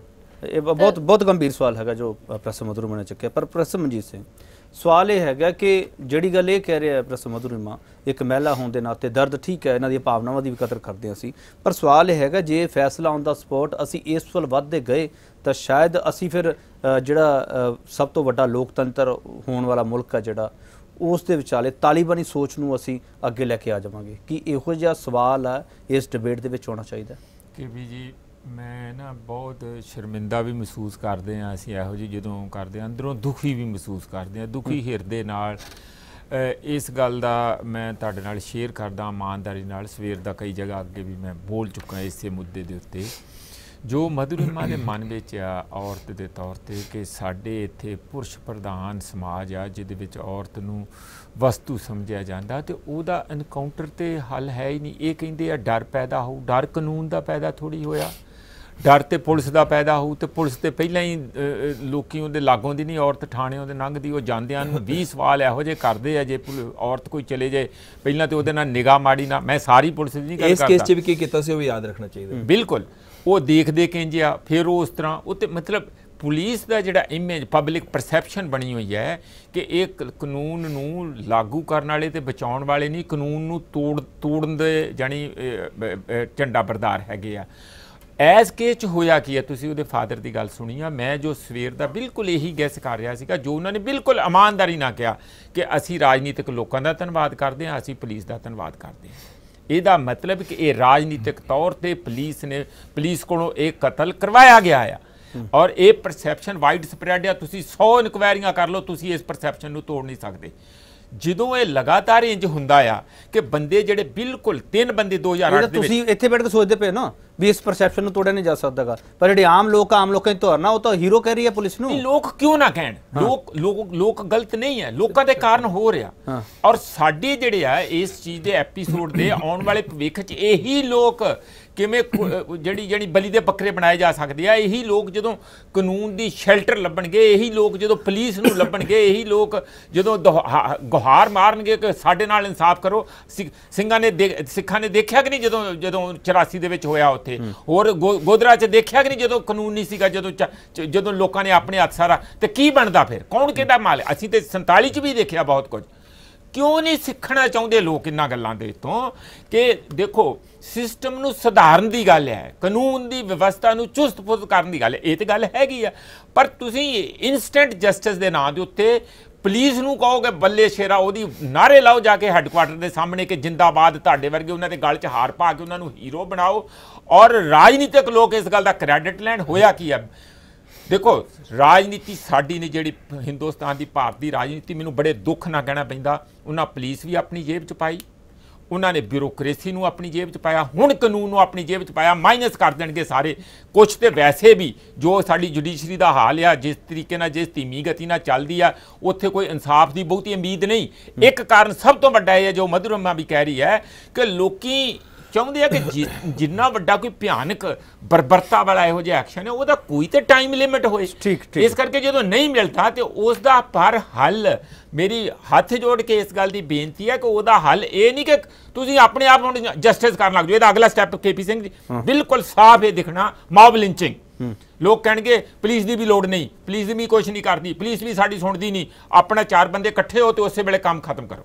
ਫਿਰ। ਆਪਾਂ ਕੀ ਕਰਾਂਗੇ? ਠੀਕ ਠੀਕ ਹੈ। ਮਧੁਰਿਮਾ ਜੀ ਮੈਂ ਬ੍ਰੇਕ ਤੇ ਜਾਣ ਤੋਂ ਪਹਿਲਾਂ ਇੱਕ ਸਵਾਲ ਤੁਹਾਡੇ ਤੋਂ ਜ਼ਰੂਰ ਲੈਣਾ ਚਾਹੁੰਦਾ ਕਿ ਤੁਸੀਂ ਜया ਬੱਚਨ ਹਰਾਂ ਨੂੰ ਵੀ ਸੁਣਿਆ? ਤੇ ਤੁਸੀਂ ਮੇਨਕਾ ਗਾਂਧੀ ਨੂੰ ਵੀ ਸੁਣਿਆ। ਉਹ ਵੀ ਇੱਕ ਮਹਿਲਾ ਹੋਣ ਦੇ ਨਾਤੇ ਵੀ ਬੋਲ ਰਹੇ ਨੇ ਤੇ ਇੱਕ ਬਤੌਰ ਪਾਰਲੀਮੈਂਟ ਮੈਂਬਰ ਉਸ ਉਸ ਵੱਲੋਂ ਵੀ ਬੋਲ- ਰਹੇ ਹੈਗੇ ਤੁਸੀਂ ਜया ਬੱਚਨ ਹਰਾਂ ਦੇ ਨਾਲ ਖੜੇ ਹੋ ਜਾਂ ਮੇਨਕਾ ਗਾਂਧੀ ਨਾਲ ਖੜੇ ਮੈਂ ਆਪਣਾ ਸਟੈਂਡ ਖੁਦ ਲਵਾਂਗੀ। ਜਿਸ ਤਰ੍ਹਾਂ ਪ੍ਰੋਫੈਸਰ ਮਨਜੀਤ ਸਿੰਘ ਨੇ ਗੱਲ ਕੀਤੀ ਕਿ ਪੁਲਿਸ ਦਾ ਡਰ ਆਏਗਾ। ਸਿਰਫ ਪੁਲਿਸ ਦਾ ਡਰ ਦੀ ਗੱਲ ਨਹੀਂ ਹੈਗੀ ਹੈ it is the public pressure ਜਿਹੜੀ ਸੁਸਾਇਟੀ ਤੁਹਾਡੇ ਖਿਲਾਫ ਜਦ ਹੋ ਜਾਂਦੀ ਹੈ ਨਾ that is very important. Police ਤੇ ਵੀ ਪਬਲਿਕ ਪ੍ਰੈਸ਼ਰ ਸੀ। ਪੁਲਿਸ ਤੇ ਵੀ ਪਬਲਿਕ ਪ੍ਰੈਸ਼ਰ ਸੀ। ਤੇ ਜਿਹੜਾ ਇਹ ਜਿਹੜੇ ਮੈਂ ਕਹਿ ਰਹੀ ਹਾਂ ਨਾ ਜਿਹੜੇ ਕਲਪ੍ਰਿਟਸ ਹੈਗੇ ਉਹਨਾਂ ਦੇ ਮਨ ਤੇ ਵੀ ਪ੍ਰੈਸ਼ਰ ਹੈ ਕਿ ਇਸ ਤਰ੍ਹਾਂ ਜਦ ਪੂਰਾ ਦਾ ਪੂਰਾ ਹਜੂਮ ਇਕੱਠਾ ਹੋ ਜਾਏਗਾ ਨਾ ਇਸ ਇਸ ਇਨਕਾਊਂਟਰ ਨੂੰ ਇਸ ਇਨਕਾਊਂਟਰ। ਨੂੰ ਇੱਥੋਂ ਤੱਕ ਸੀਮਿਤ ਰੱਖਣਾ ਚਾਹੀਦਾ ਜੇ ਟ੍ਰੈਂਡ ਸੈਟਰ ਹੋਣਾ ਚਾਹੀਦਾ ਨਹੀਂ ਇਸ ਤਰ੍ਹਾਂ ਦੀ ਕੋਈ ਗੱਲ ਨਹੀਂ ਬਟ ਇਹ ਇੱਕ ਵਾਰੀ ਹੋਣਾ ਜ਼ਰੂਰੀ ਸੀਗਾ ਹੋਣਾ ਜ਼ਰੂਰੀ ਸੀਗਾ ਹੋਣਾ ਜ਼ਰੂਰੀ ਸੀਗਾ ਮੈਂ ਕਰ ਸੀ। ਜੀਵ ਤਰ੍ਹਾਂ ਬ੍ਰੇਕ ਲੈ ਕੇ ਬ੍ਰੇਕ ਸੀ। ਲੈ ਕੇ ਵਾਪਸ ਆ ਰਿਹਾ ਬ੍ਰੇਕ ਲੈ ਕੇ। ਵਾਪਸ ਆ ਰਿਹਾ ਹੋਣਾ ਜ਼ਰੂਰੀ ਸੀਗਾ ਇਹਨਾਂ ਨੂੰ ਮਾਫ ਕਰ ਦਿਓ ਇਹਨਾਂ ਨੂੰ ਛੱਡ ਦਿਓ ਇਹਨਾਂ ਨੇ ਜੋ ਵੀ ਕੀਤਾ ਉਸ ਨੂੰ ਭੁੱਲ ਜਾਓ ਹੋਣਾ ਜ਼ਰੂਰੀ ਸੀਗਾ ਅੱਗੇ ਇਹੋ ਜਿਹਾ ਟ੍ਰੈਂਡ ਸੈੱਟ ਨਹੀਂ ਹੋਣਾ ਚਾਹੀਦਾ ਇਸ ਡਿਬੇਟ ਵਿੱਚ ਇਹ ਸ਼ਬਦ ਆ ਚੁੱਕਿਆ ਪਰ ਸਵਾਲ ਇਹ ਹੈਗਾ ਟ੍ਰੈਂਡ ਸੈੱਟ ਕਰਨ ਵਾਲੇ ਜਿਹੜੇ ਬਿਆਨਬਾਜ਼ੀ ਕਰਦੇ ਹੈਗੇ ਆ, ਉਹਨਾਂ ਨੇ ਤਾਂ ਕਹਿਣਾ ਸ਼ੁਰੂ ਕਰ ਦਿੱਤਾ ਕਿ ਹైదరాబాద్ ਪੁਲਿਸ ਤੋਂ ਸਿੱਖੋ, ਤੇਲੰਗਾਨਾ ਪੁਲਿਸ ਤੋਂ ਸਿੱਖੋ, ਇਹਨਾਂ ਤੋਂ ਸਿੱਖੋ ਜੇ ਫੈਸਲੇ ਕਰਨੇ ਹੈਗੇ ਆ। ਜਿਹੜੇ ਬਿਆਨ ਦਿੰਦੇ ਹੈਗੇ ਆ, ਉਹ ਟ੍ਰੈਂਡ ਸੈੱਟ ਕਰਨ ਦੀ ਕੋਸ਼ਿਸ਼ ਵਿੱਚ ਲੱਗੇ ਹੋਏ ਆ, ਬ੍ਰੇਕ ਤੋਂ ਵਾਪਸ ਆ ਰਹੇ ਆ ਇਸ ਵਾਲੇ ਕਿਉਂ ਪੁੱਛ ਰਹੇ ਹੈ ਹైదరాబాద్ ਗੈਂਗ ਮਰਡਰ ਮਾਮਲੇ ਚ ਐਨਕਾਊਂਟਰ ਨੇ ਕਿਸ ਲਈ ਚੁਣੌਤੀ ਖੜੀ ਕੀਤੀ? ਰਜੀ ਗੁਜ਼ਾਰਾ ਸਾਹਿਬ, ਤੁਸੀਂ ਕੁਝ ਕਹਿਣਾ ਚਾਹ ਰਹੇ ਸੀਗੇ। ਮੇਰਾ ਸਵਾਲ ਹੈ ਮਧੁਰੀਮਾ ਜੀ ਨੇ ਗੱਲ ਕਹੀ ਹੈ ਕਿ ਇਸ ਨੂੰ ਇੱਥੋਂ ਤੱਕ ਸਾਨੂੰ ਸੀਮਤ ਰੱਖ ਕੇ ਦੇਖਣਾ ਚਾਹੀਦਾ, ਨਾ ਕਿ ਟ੍ਰੈਂਡ ਸੈਟਰ ਵਜੋਂ। ਨਹੀਂ ਮਧੁਰਿਮਾ ਜੀ ਨੇ ਆਖਿਰ ਚ ਇਹ ਚਾਹੇ ਕਹਿਤਾ ਪਰ ਉਹਨਾਂ ਦੀ ਪੂਰੀ ਗੱਲ ਤਾਂ ਇਹ ਕਹਿੰਦੀ ਹੈ ਕਿ ਇਸ ਤਰ੍ਹਾਂ ਹੀ ਟ੍ਰੈਂਡ ਸੈੱਟ ਹੋਣਾ ਚਾਹੀਦਾ ਮਧੁਰਿਮਾ ਜੀ ਨੇ ਇਹ ਵੀ ਕਹਿਤਾ ਕਿ ਪੁਲਿਸ ਨੇ ਫੇਕ ਐਨਕਾਊਂਟਰ ਕੀਤਾ ਹੈ ਪੁਲਿਸ ਨੇ ਇਸ ਕਰਕੇ ਨਹੀਂ ਮਧੂ ਜੀ ਮਧੁਰਿਮਾ ਜੀ ਤੁਸੀਂ ਸ਼ਬਦਾਂ ਚ ਨਹੀਂ ਕਿਹਾ ਮੈਨੂੰ ਪਤਾ ਤੁਸੀਂ ਨਹੀਂ ਬੋਲੇ ਬਟ ਯੂ ਸੈਡ ਉਹਦਾ। ਮਤਲਬ ਇਹੀ ਹੁੰਦਾ ਹੈ ਤੁਸੀਂ ਕਿਹਾ ਕਿ ਇਨਸਟੈਂਟ ਜਸਟਿਸ ਚਾਹੀਦਾ ਹੈ ਇੱਕ ਵਾਰ ਹੋਣਾ ਚਾਹੀਦਾ ਸੀ ਇਹਦਾ ਮਤਲਬ ਇਹ ਹੁੰਦਾ ਹੈ ਕਿ ਉਹ ਭੱਜਣ ਦੀ ਕੋਸ਼ਿਸ਼ ਨਹੀਂ ਕਰ ਰਹੇ ਸੀ ਹਥਿਆਰ ਨਹੀਂ ਖੋਏ ਸੀ ਜਿਹੜੀ ਪੁਲਿਸ ਕਹਿ ਰਹੀ ਹੈ। ਇਹਦਾ ਮਤਲਬ ਹੈ ਕਿ ਪੁਲਿਸ ਨੂੰ ਸੰਦੇਸ਼ ਮਿਲ ਗਿਆ ਕਿ ਲੋਕੀ ਉਬਲ ਰਹੇ ਨੇ ਇਸ ਕਰਕੇ ਪੁਲਿਸ ਨੇ ਨਿਆਂ ਕਰਤਾ। ਮੈਂ ਮੈਂ ਅਫਸੋਸ ਨਾਲ ਕਹਿ ਰਿਹਾ। ਮੈਨੂੰ ਸੱਚੀ ਮੁੱਚੀ ਇਸ ਗੱਲ ਦੀ ਪੀੜਾ ਹੈ ਕਿ ਸਾਡੇ ਯੂਨੀਵਰਸਿਟੀ ਦੇ ਵਿੱਚ ਪੜ੍ਹਾਉਣ ਵਾਲੇ ਪ੍ਰੋਫੈਸਰਸ ਜੇ ਕਾਨੂੰਨ ਦੀ ਗੱਲ ਨੂੰ ਤੇ ਨਿਆਂ ਦੀ ਗੱਲ ਨੂੰ ਇਸ ਤਰ੍ਹਾਂ ਰੇਖਾਂਕਿਤ ਕਰਦੇ ਨੇ ਤੇ ਸਾਡਾ ਸਮਾਜ ਇਸ ਤੋਂ ਬਿਹਤਰ ਬਣ ਕਹਿ ਰਹੇ ਕਿ ਮਹਿਲਾ ਹੋਣ ਦੇ ਨਾਤੇ ਮੈਂ ਇਹ- ਮੈਂ ਕਹਿ ਮੈਂ ਰਿਹਾ। ਮਹਿਲਾ ਹੋਣੇ ਉਹਦੇ ਨਾਤੇ ਵੀ ਗੱਲ ਕਰ ਰਿਹਾ। ਮੈਂ ਤੁਹਾਨੂੰ ਸ਼ੁਰੂ ਚ ਕਿਹਾ ਸੀ ਰੇਪ ਦੀ ਘਟਨਾ ਤੇ ਇਨਕਾਊਂਟਰ ਦੋਵਾਂ ਨੂੰ ਤੁਹਾਨੂੰ ਸੈਪਰੇਟ ਕਰਕੇ ਵੇਖਣਾ ਪਏਗਾ ਕਿ ਮਧੁਰਿਮਾ ਜੀ ਕਹਿ ਸਕਦੇ ਨੇ ਕਿ ਸਾਡੇ ਦੇਸ਼ ਦਾ ਕਾਨੂੰਨ ਇਸ ਤਰ੍ਹਾਂ ਹੈਗਾ ਕਿ ਇਸ ਤਰ੍ਹਾਂ ਦੇ ਕੇਸਿਸ ਦੇ ਵਿੱਚ ਇਸ ਤਰ੍ਹਾਂ ਪੁਲਿਸ ਵਾਲਾ ਅਫਸਰ ਨਿਆਂ ਕਰ ਦੇਵੇ। ਪੁਲਿਸ ਸਾਹਿਬ? ਇਸ ਨੂੰ ਵੱਖ ਕਰਕੇ ਕਿਵੇਂ ਦੇਖਿਆ ਜਾਵੇ? ਮੈਂ ਦੱਸ ਰਿਹਾ ਸਰ। ਜਦੋਂ ਉਸੇ ਉਸੇ ਵਾਸਤੇ ਉੱਥੇ ਗਏ ਰਿਹਾ ਸੀਗੇ। ਮੈਂ ਉੱਥੇ ਰਿਹਾ। ਮੋਬਾਈਲ ਲੱਭਣਾ ਸੀਗਾ ਕ੍ਰਾਈਮ ਸੀਨ ਆ ਜਿਹੜਾ ਉਹ ਉਹ ਰੀਕ੍ਰੀਏਟ ਕਰਨਾ ਸੀਗਾ। ਉਸੇ ਵਾਸਤੇ ਤਾਂ ਗਏ ਸੀ ਉਹ ਦੱਸ ਜੀ ਇਹ ਕਹਿ ਰਹੇ ਨੇ ਕਿ ਉਹ ਤਾਂ ਨਿਆਂ ਕਰਨ ਗਏ ਸੀ ਜਾਂਚ ਕਰਨ ਨਹੀਂ ਗਏ ਸੀ। ਉਹਨਾਂ ਨੇ ਕਿਹਾ ਕਿ ਇਸ ਇਹ ਹੋਣਾ ਹੀ ਚਾਹੀਦਾ ਸੀ। ਲੋਕਾਂ ਦਾ ਦਬਾਅ ਸੀ। ਉਹ ਨਹੀਂ ਕਹਿ ਰਹੇ। ਕਿ ਉਹ ਤਾਂ ਜਾਂਚ ਕਰ ਰਹੇ ਸੀ ਉਹਨਾਂ ਨੇ ਭੱਜਣ ਦੀ ਜਿਹੜਾ ਪੁਲਿਸ ਦਾ ਵਰਜਨ ਹੈ ਉਹ ਬਿਲਕੁਲ ਅੱਡ ਹੈ। ਉਹ ਇਹ ਹੈ ਕਿ ਅਸੀਂ ਜਾਂਚ ਕਰ ਰਹੇ ਸੀ ਉਹਨਾਂ ਨੇ ਹਥਿਆਰ ਖੋਲੇ ਭੱਜਣ ਦੀ ਕੋਸ਼ਿਸ਼ ਕੀਤੀ ਸਾਡੇ ਕੋਲ ਕੋਈ ਚਾਰਾ ਨਹੀਂ ਸੀਗਾ ਜਿਹੜੀ ਪੁਲਿਸ ਅਕਸਰ ਕਹਿੰਦੀ ਹੈ। ਪਰ ਮੁਦਰਮਾ ਜੀ ਕਹਿ ਰਹੇ ਨੇ ਕਿ ਨਿਆਂ ਤਾਂ ਇਨਸਟੈਂਟ ਹੋਣਾ ਚਾਹੀਦਾ ਸੀ ਇਸ ਕੇਸ 'ਚ ਹੋਇਆ। ਇੱਕ ਵਾਰ ਹੋਣਾ ਚਾਹੀਦਾ ਸੀ ਡਰ ਵਜੇ ਇਹਦਾ ਮਤਲਬ ਅੱਡ ਅੱਡ ਹੁੰਦਾ ਹੈ। ਦੂਜੀ ਗੱਲ ਜਿੱਥੋਂ ਤੱਕ ਪੁਲਿਸ ਦੀ ਆਪਾਂ ਗੱਲ ਕਰੀਏ ਇਹ ਉਹੀ ਪੁਲਿਸ ਹੈ ਨਾ ਜਿਹਦੇ ਬਾਰੇ ਉਹ ਵਿਕਟਿਮ ਦੀ ਭੈਣ ਨੇ ਕਿਹਾ ਸੀ ਅਸੀਂ। ਫੋਨ ਕਰ ਰਹੇ ਸੀ ਉਹ। ਸੁਣ ਨਹੀਂ ਰਹੇ ਸੀ। ਕਦੇ ਇਸ ਥਾਣੇ ਜਾਓ ਕਦੇ ਉਸ ਥਾਣੇ ਜਾਓ ਬਿਲਕੁਲ ਠੀਕ ਹੈ, ਸਵਾਲ ਹੈਗਾ, ਇਹ- ਸਵਾਲ। ਹੈਗਾ, ਇਹ ਸਵਾਲ ਹੈਗਾ। ਉਹ- ਉਹੀ-। ਪੁਲਿਸ hero ਬਣ ਗਈ। ਸਿਰਫ ਸਿਰਫ ਦਿਸ਼ਾ ਦੇ ਕੇਸ 'ਚ ਅਸੀਂ ਗੱਲ ਕਰ ਰਹੇ ਹਾਂ ਤਿੰਨ ਦਿਨ ਪੁਰਾਣੀ ਗੱਲ ਹਾਂ, 6 ਇਸ case ਸਾਲ ਦੀ ਛੋਟੀ ਗੱਲ ਤੁਸੀਂ ਲੜਕੀ ਇਹ ਕਹਿ ਰਹੇ ਹੋ ਸਕੂਲ ਮਤਲਬ? ਤੋਂ ਆ ਰਹੀ ਸੀ ਸਕੂਲ ਤੋਂ ਆ ਰਹੀ ਸੀ ਉਹਦਾ ਰੇਪ ਹੋਇਆ ਉਹਨੂੰ ਉਹਦੀ ਸਕੂਲ ਦੀ ਜਿਹੜੀ ਬੈਲਟ ਹੁੰਦੀ ਹੈ ਉਹਦੇ ਨਾਲ ਹੀ ਉੱਥੇ ਟੰਗਤਾ ਕੀ ਇਨਸਾਫ ਹੋਇਆ ਕਿੰਨੀ ਡਿਬੇਟ ਹੋਈ ਕਿੰਨੀ ਅਸੀਂ ਗੱਲ ਕੀਤੀ ਕਿ ਜਿਹੜੇ ਆਮ ਲੋਕੀ ਹੈਗੇ ਉਹਨਾਂ 'ਚ ਕਿਸ ਤਰ੍ਹਾਂ ਦਾ ਮੈਸੇਜ ਮਧੁਰਮਾ ਆ ਰਿਹਾ ਮੈਂ ਤੁਹਾਨੂੰ ਦੂਜੇ ਦੇ ਰਿਹਾ। ਨਹੀਂ, ਇੱਕ ਮਿੰਟ no, ਬਦਾਰਾ ਸਾਹਿਬ ਇੱਕ ਮਿੰਟ ਗੱਲ ਪੁੱਛ ਰਹੇ ਬਦਾਰਾ ਸਾਹਿਬ ਇੱਕ ਮਿੰਟ ਗੱਲ ਸੁਣ ਲਈ ਉਹਨਾਂ ਦੀ ਗੱਲ ਸੁਣ ਲਈ ਹਾਂ ਮਧੁਰੀ ਮਾਂ ਜੀ ਬੋਲੋ। ਮੇਰਾ ਕਹਿਣ ਦਾ ਮਤਲਬ ਹੈ ਮੇਰੇ ਮੇਰੇ ਮੇਰੇ ਮੈਨੂੰ ਜੋ ਵੀ ਮੈਂ ਵਰਡਸ ਕਹਿ ਰਹੀ ਹਾਂ ਉਹ ਗੱਲ ਦਾ ਮਤਲਬ ਹੈ ਕਿ ਜਿਸ ਤਰ੍ਹਾਂ ਅਗਰ ਸਾਡਾ ਐਨਸੀਆਰਬੀ ਦਾ ਡਾਟਾ ਦੇਖੀਏ 2017 ਦਾ 92 rapes happen every day and they are the this is a government data.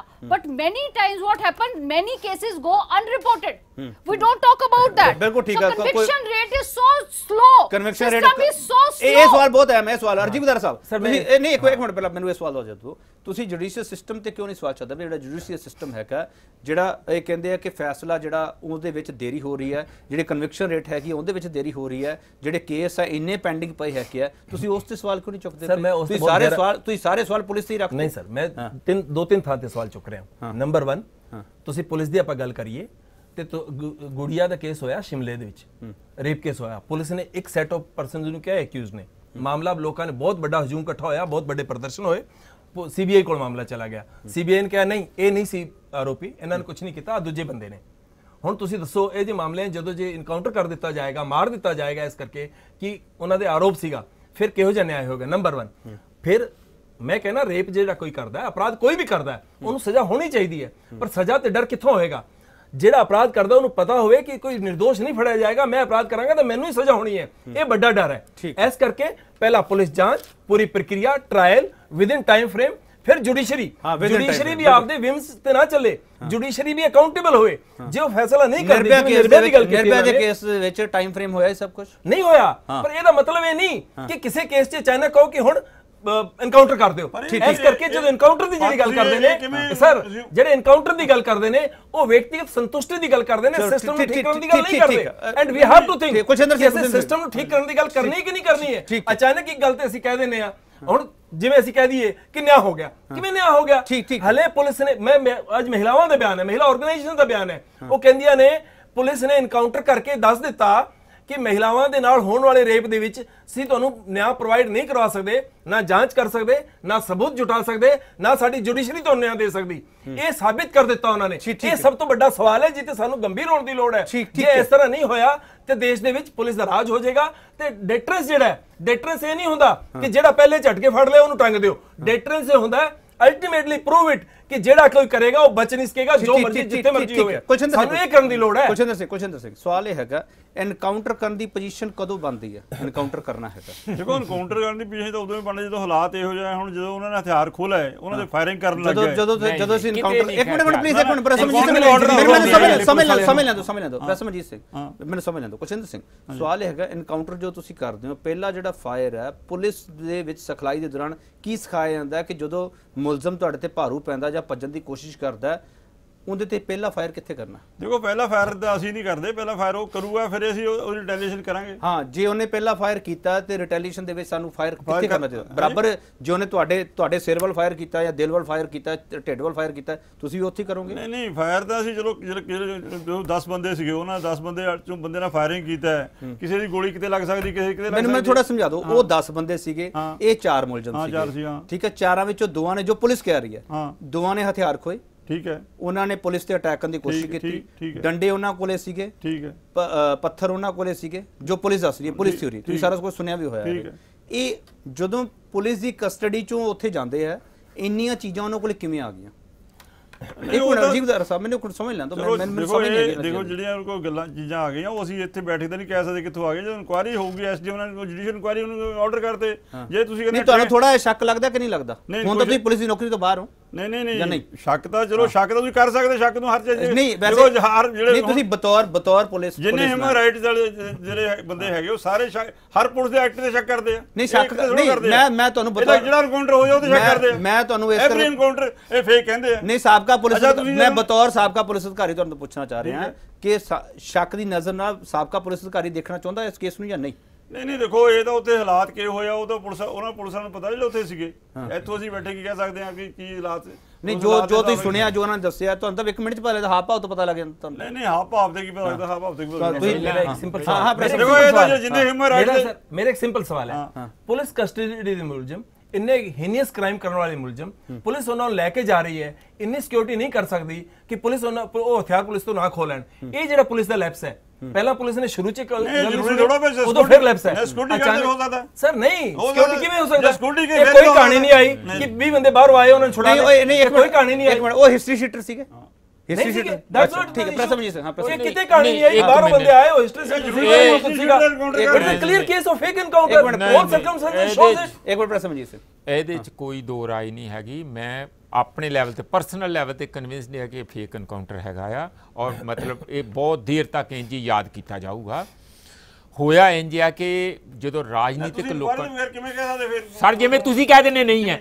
ਕਿਉਂ ਨਾ ਕਵਾਂ ਅਗਲੇ ਕਹਿੰਦੇ ਤੁਸੀਂ ਨੇ- ਕਹੀ ਚਲੋ ਤਾਂ ਅਗਲੇ ਨਹੀਂ ਹੈ ਕਹਿੰਦੇ ਹਾਂ inquiry ਤੇ ਹੋ ਤੁਸੀਂ ਰਹੀ ਹੈ। ਇਨਕੁਆਇਰੀ ਹੋਊ ਤੇ ਤੁਸੀਂ ਹਾਂ, ਕਹਿੰਦੇ ਉਦੋਂ ਤੱਕ inquiry ਨਹੀਂ ਹੈ order ਕਰ ਤੁਸੀਂ ਦਿਓ। ਕਹਿੰਦੇ ਸਰ, ਕਿ ਪੁਲਿਸ ਜਦ ਤੱਕ ਲਗਾਤਾਰ- ਇਨਕੁਆਇਰੀ ਪੁਲਿਸ ਨਹੀਂ ਹੈ ਲਗਾਤਾਰ ਠੱਗੀ ਕਰਦੀ ਹੈ, ਜੇ corruption ਤੁਸੀਂ ਕਰਦੀ ਹੈ, ਕਹੋਗੇ ਤਾਂ ਅਸੀਂ ਅਪਰਾਧ ਨਹੀਂ ਕਹਿ ਕਰਦੀ ਹੈ। ਸਕਦੇ ਤੁਸੀਂ ਕਹਿੰਦੇ human rights ਹੱਦ ਹੋ ਕਰਦੇ ਗਈ ਹੈ ਨੇ। ਹੈਂ? ਠੀਕ ਠਾਕ ਹੈ ਜੀ ਤੁਸੀਂ ਬਾਕੀ ਲੋਕਾਂ ਨੂੰ ਸਾਰੇ ਮਾਰੀ ਹਰ ਜਾਓ ਚੀਜ਼ ਕਰਦੀ ਹੈ। ਬਾਕੀ ਸਮਾਜ ਮੈਂ ਆਜ ਦਿਨ ਮਾਰੀ ਪਹਿਲਾਂ ਜਾਓ, ਦੱਸ ਤੁਸੀਂ ਪੁਲਿਸ ਨਹੀਂ ਕਰਦੀ ਹਾਈ ਹੈ। Minute, please. ਹਾਈ ਕੋਰਟ ਇੱਕ ਨੇ ਮਿੰਟ, ਕੇਸ ਚੱਕਿਆ ਇੱਕ ਮਿੰਟ। ਐਨਡੀਪੀਐਸ ਐਕਟ ਦਾ ਕੇਸ ਬਣਾਇਆ ਕਿ ਅਸੀਂ ਪੈਟਰੋਲਿੰਗ ਤੇ ਸੀ ਤੁਸੀਂ ਬੰਦਾ ਆ ਕੇਸ ਗਿਆ ਸਾਰੀ ਇੱਕ ਪੁਲਿਸ ਮਿੰਟ। ਨਹੀਂ ਇੱਕ ਫਿਰ ਮਿੰਟ ਤੁਸੀਂ ਸਕਦੇ ਸਾਰੇ ਇੱਕ ਮਿੰਟ ਬੰਦੇ- please, ਇੱਕ ਮਿੰਟ please, ਪੰਜਾਬ ਇੱਕ ਮਿੰਟ ਇੱਕ ਮਿੰਟ ਇੱਕ please, ਇੱਕ ਮਿੰਟ ਇੱਕ ਮਿੰਟ please, ਇੱਕ ਮਿੰਟ please ਗੁਦਾਰਾ ਕੁਲਚਿੰਦਰ ਹੈਗੇ ਗੁਦਾਰਾ I have ਸਾਹਿਬ ਸਾਹਿਬ. ਕੁਲਚਿੰਦਰ ਜੀ ਮੈਂ ਬੋਲਦਾ ਰਿਹਾ ਸਰ ਦੇਖਿਆ ਕੀ ਇਹਦਾ ਨਾ ਕਰੋ ਇਹਦਾ ਨਾ ਕਰੋ। ਮੈਂ ਤਾਂ ਇਸੇ ਕਰਕੇ ਮੈਂ ਤਾਂ ਇਸੇ ਕਰਕੇ ਮੈਂ ਤਾਂ ਇਸੇ ਉਹਦਾ ਕਰਕੇ ਵੀ ਹੈ। ਮੈਂ ਤਾਂ ਇਸੇ ਕਰਕੇ ਪੋਲੀਟੀਸ਼ੀਅਨ ਨਹੀਂ ਸੱਦੇ। ਹਾਂ ਗੁਦਾਰਾ ਜੀ ਬੋਲੋ। ਮੈਂ ਇਹ ਕਹਿਣਾ ਕਿ ਪਹਿਲਾਂ ਤੇ ਇਹ ਗੱਲ ਹੈ ਕਿ ਜੇ ਤੁਸੀਂ ਸਟੋਰੀ ਸਾਰੀ ਉੱਥੇ ਟਰੇਸ ਕਰਨੀ ਆ ਉਹ ਠੀਕ ਹੈਗਾ।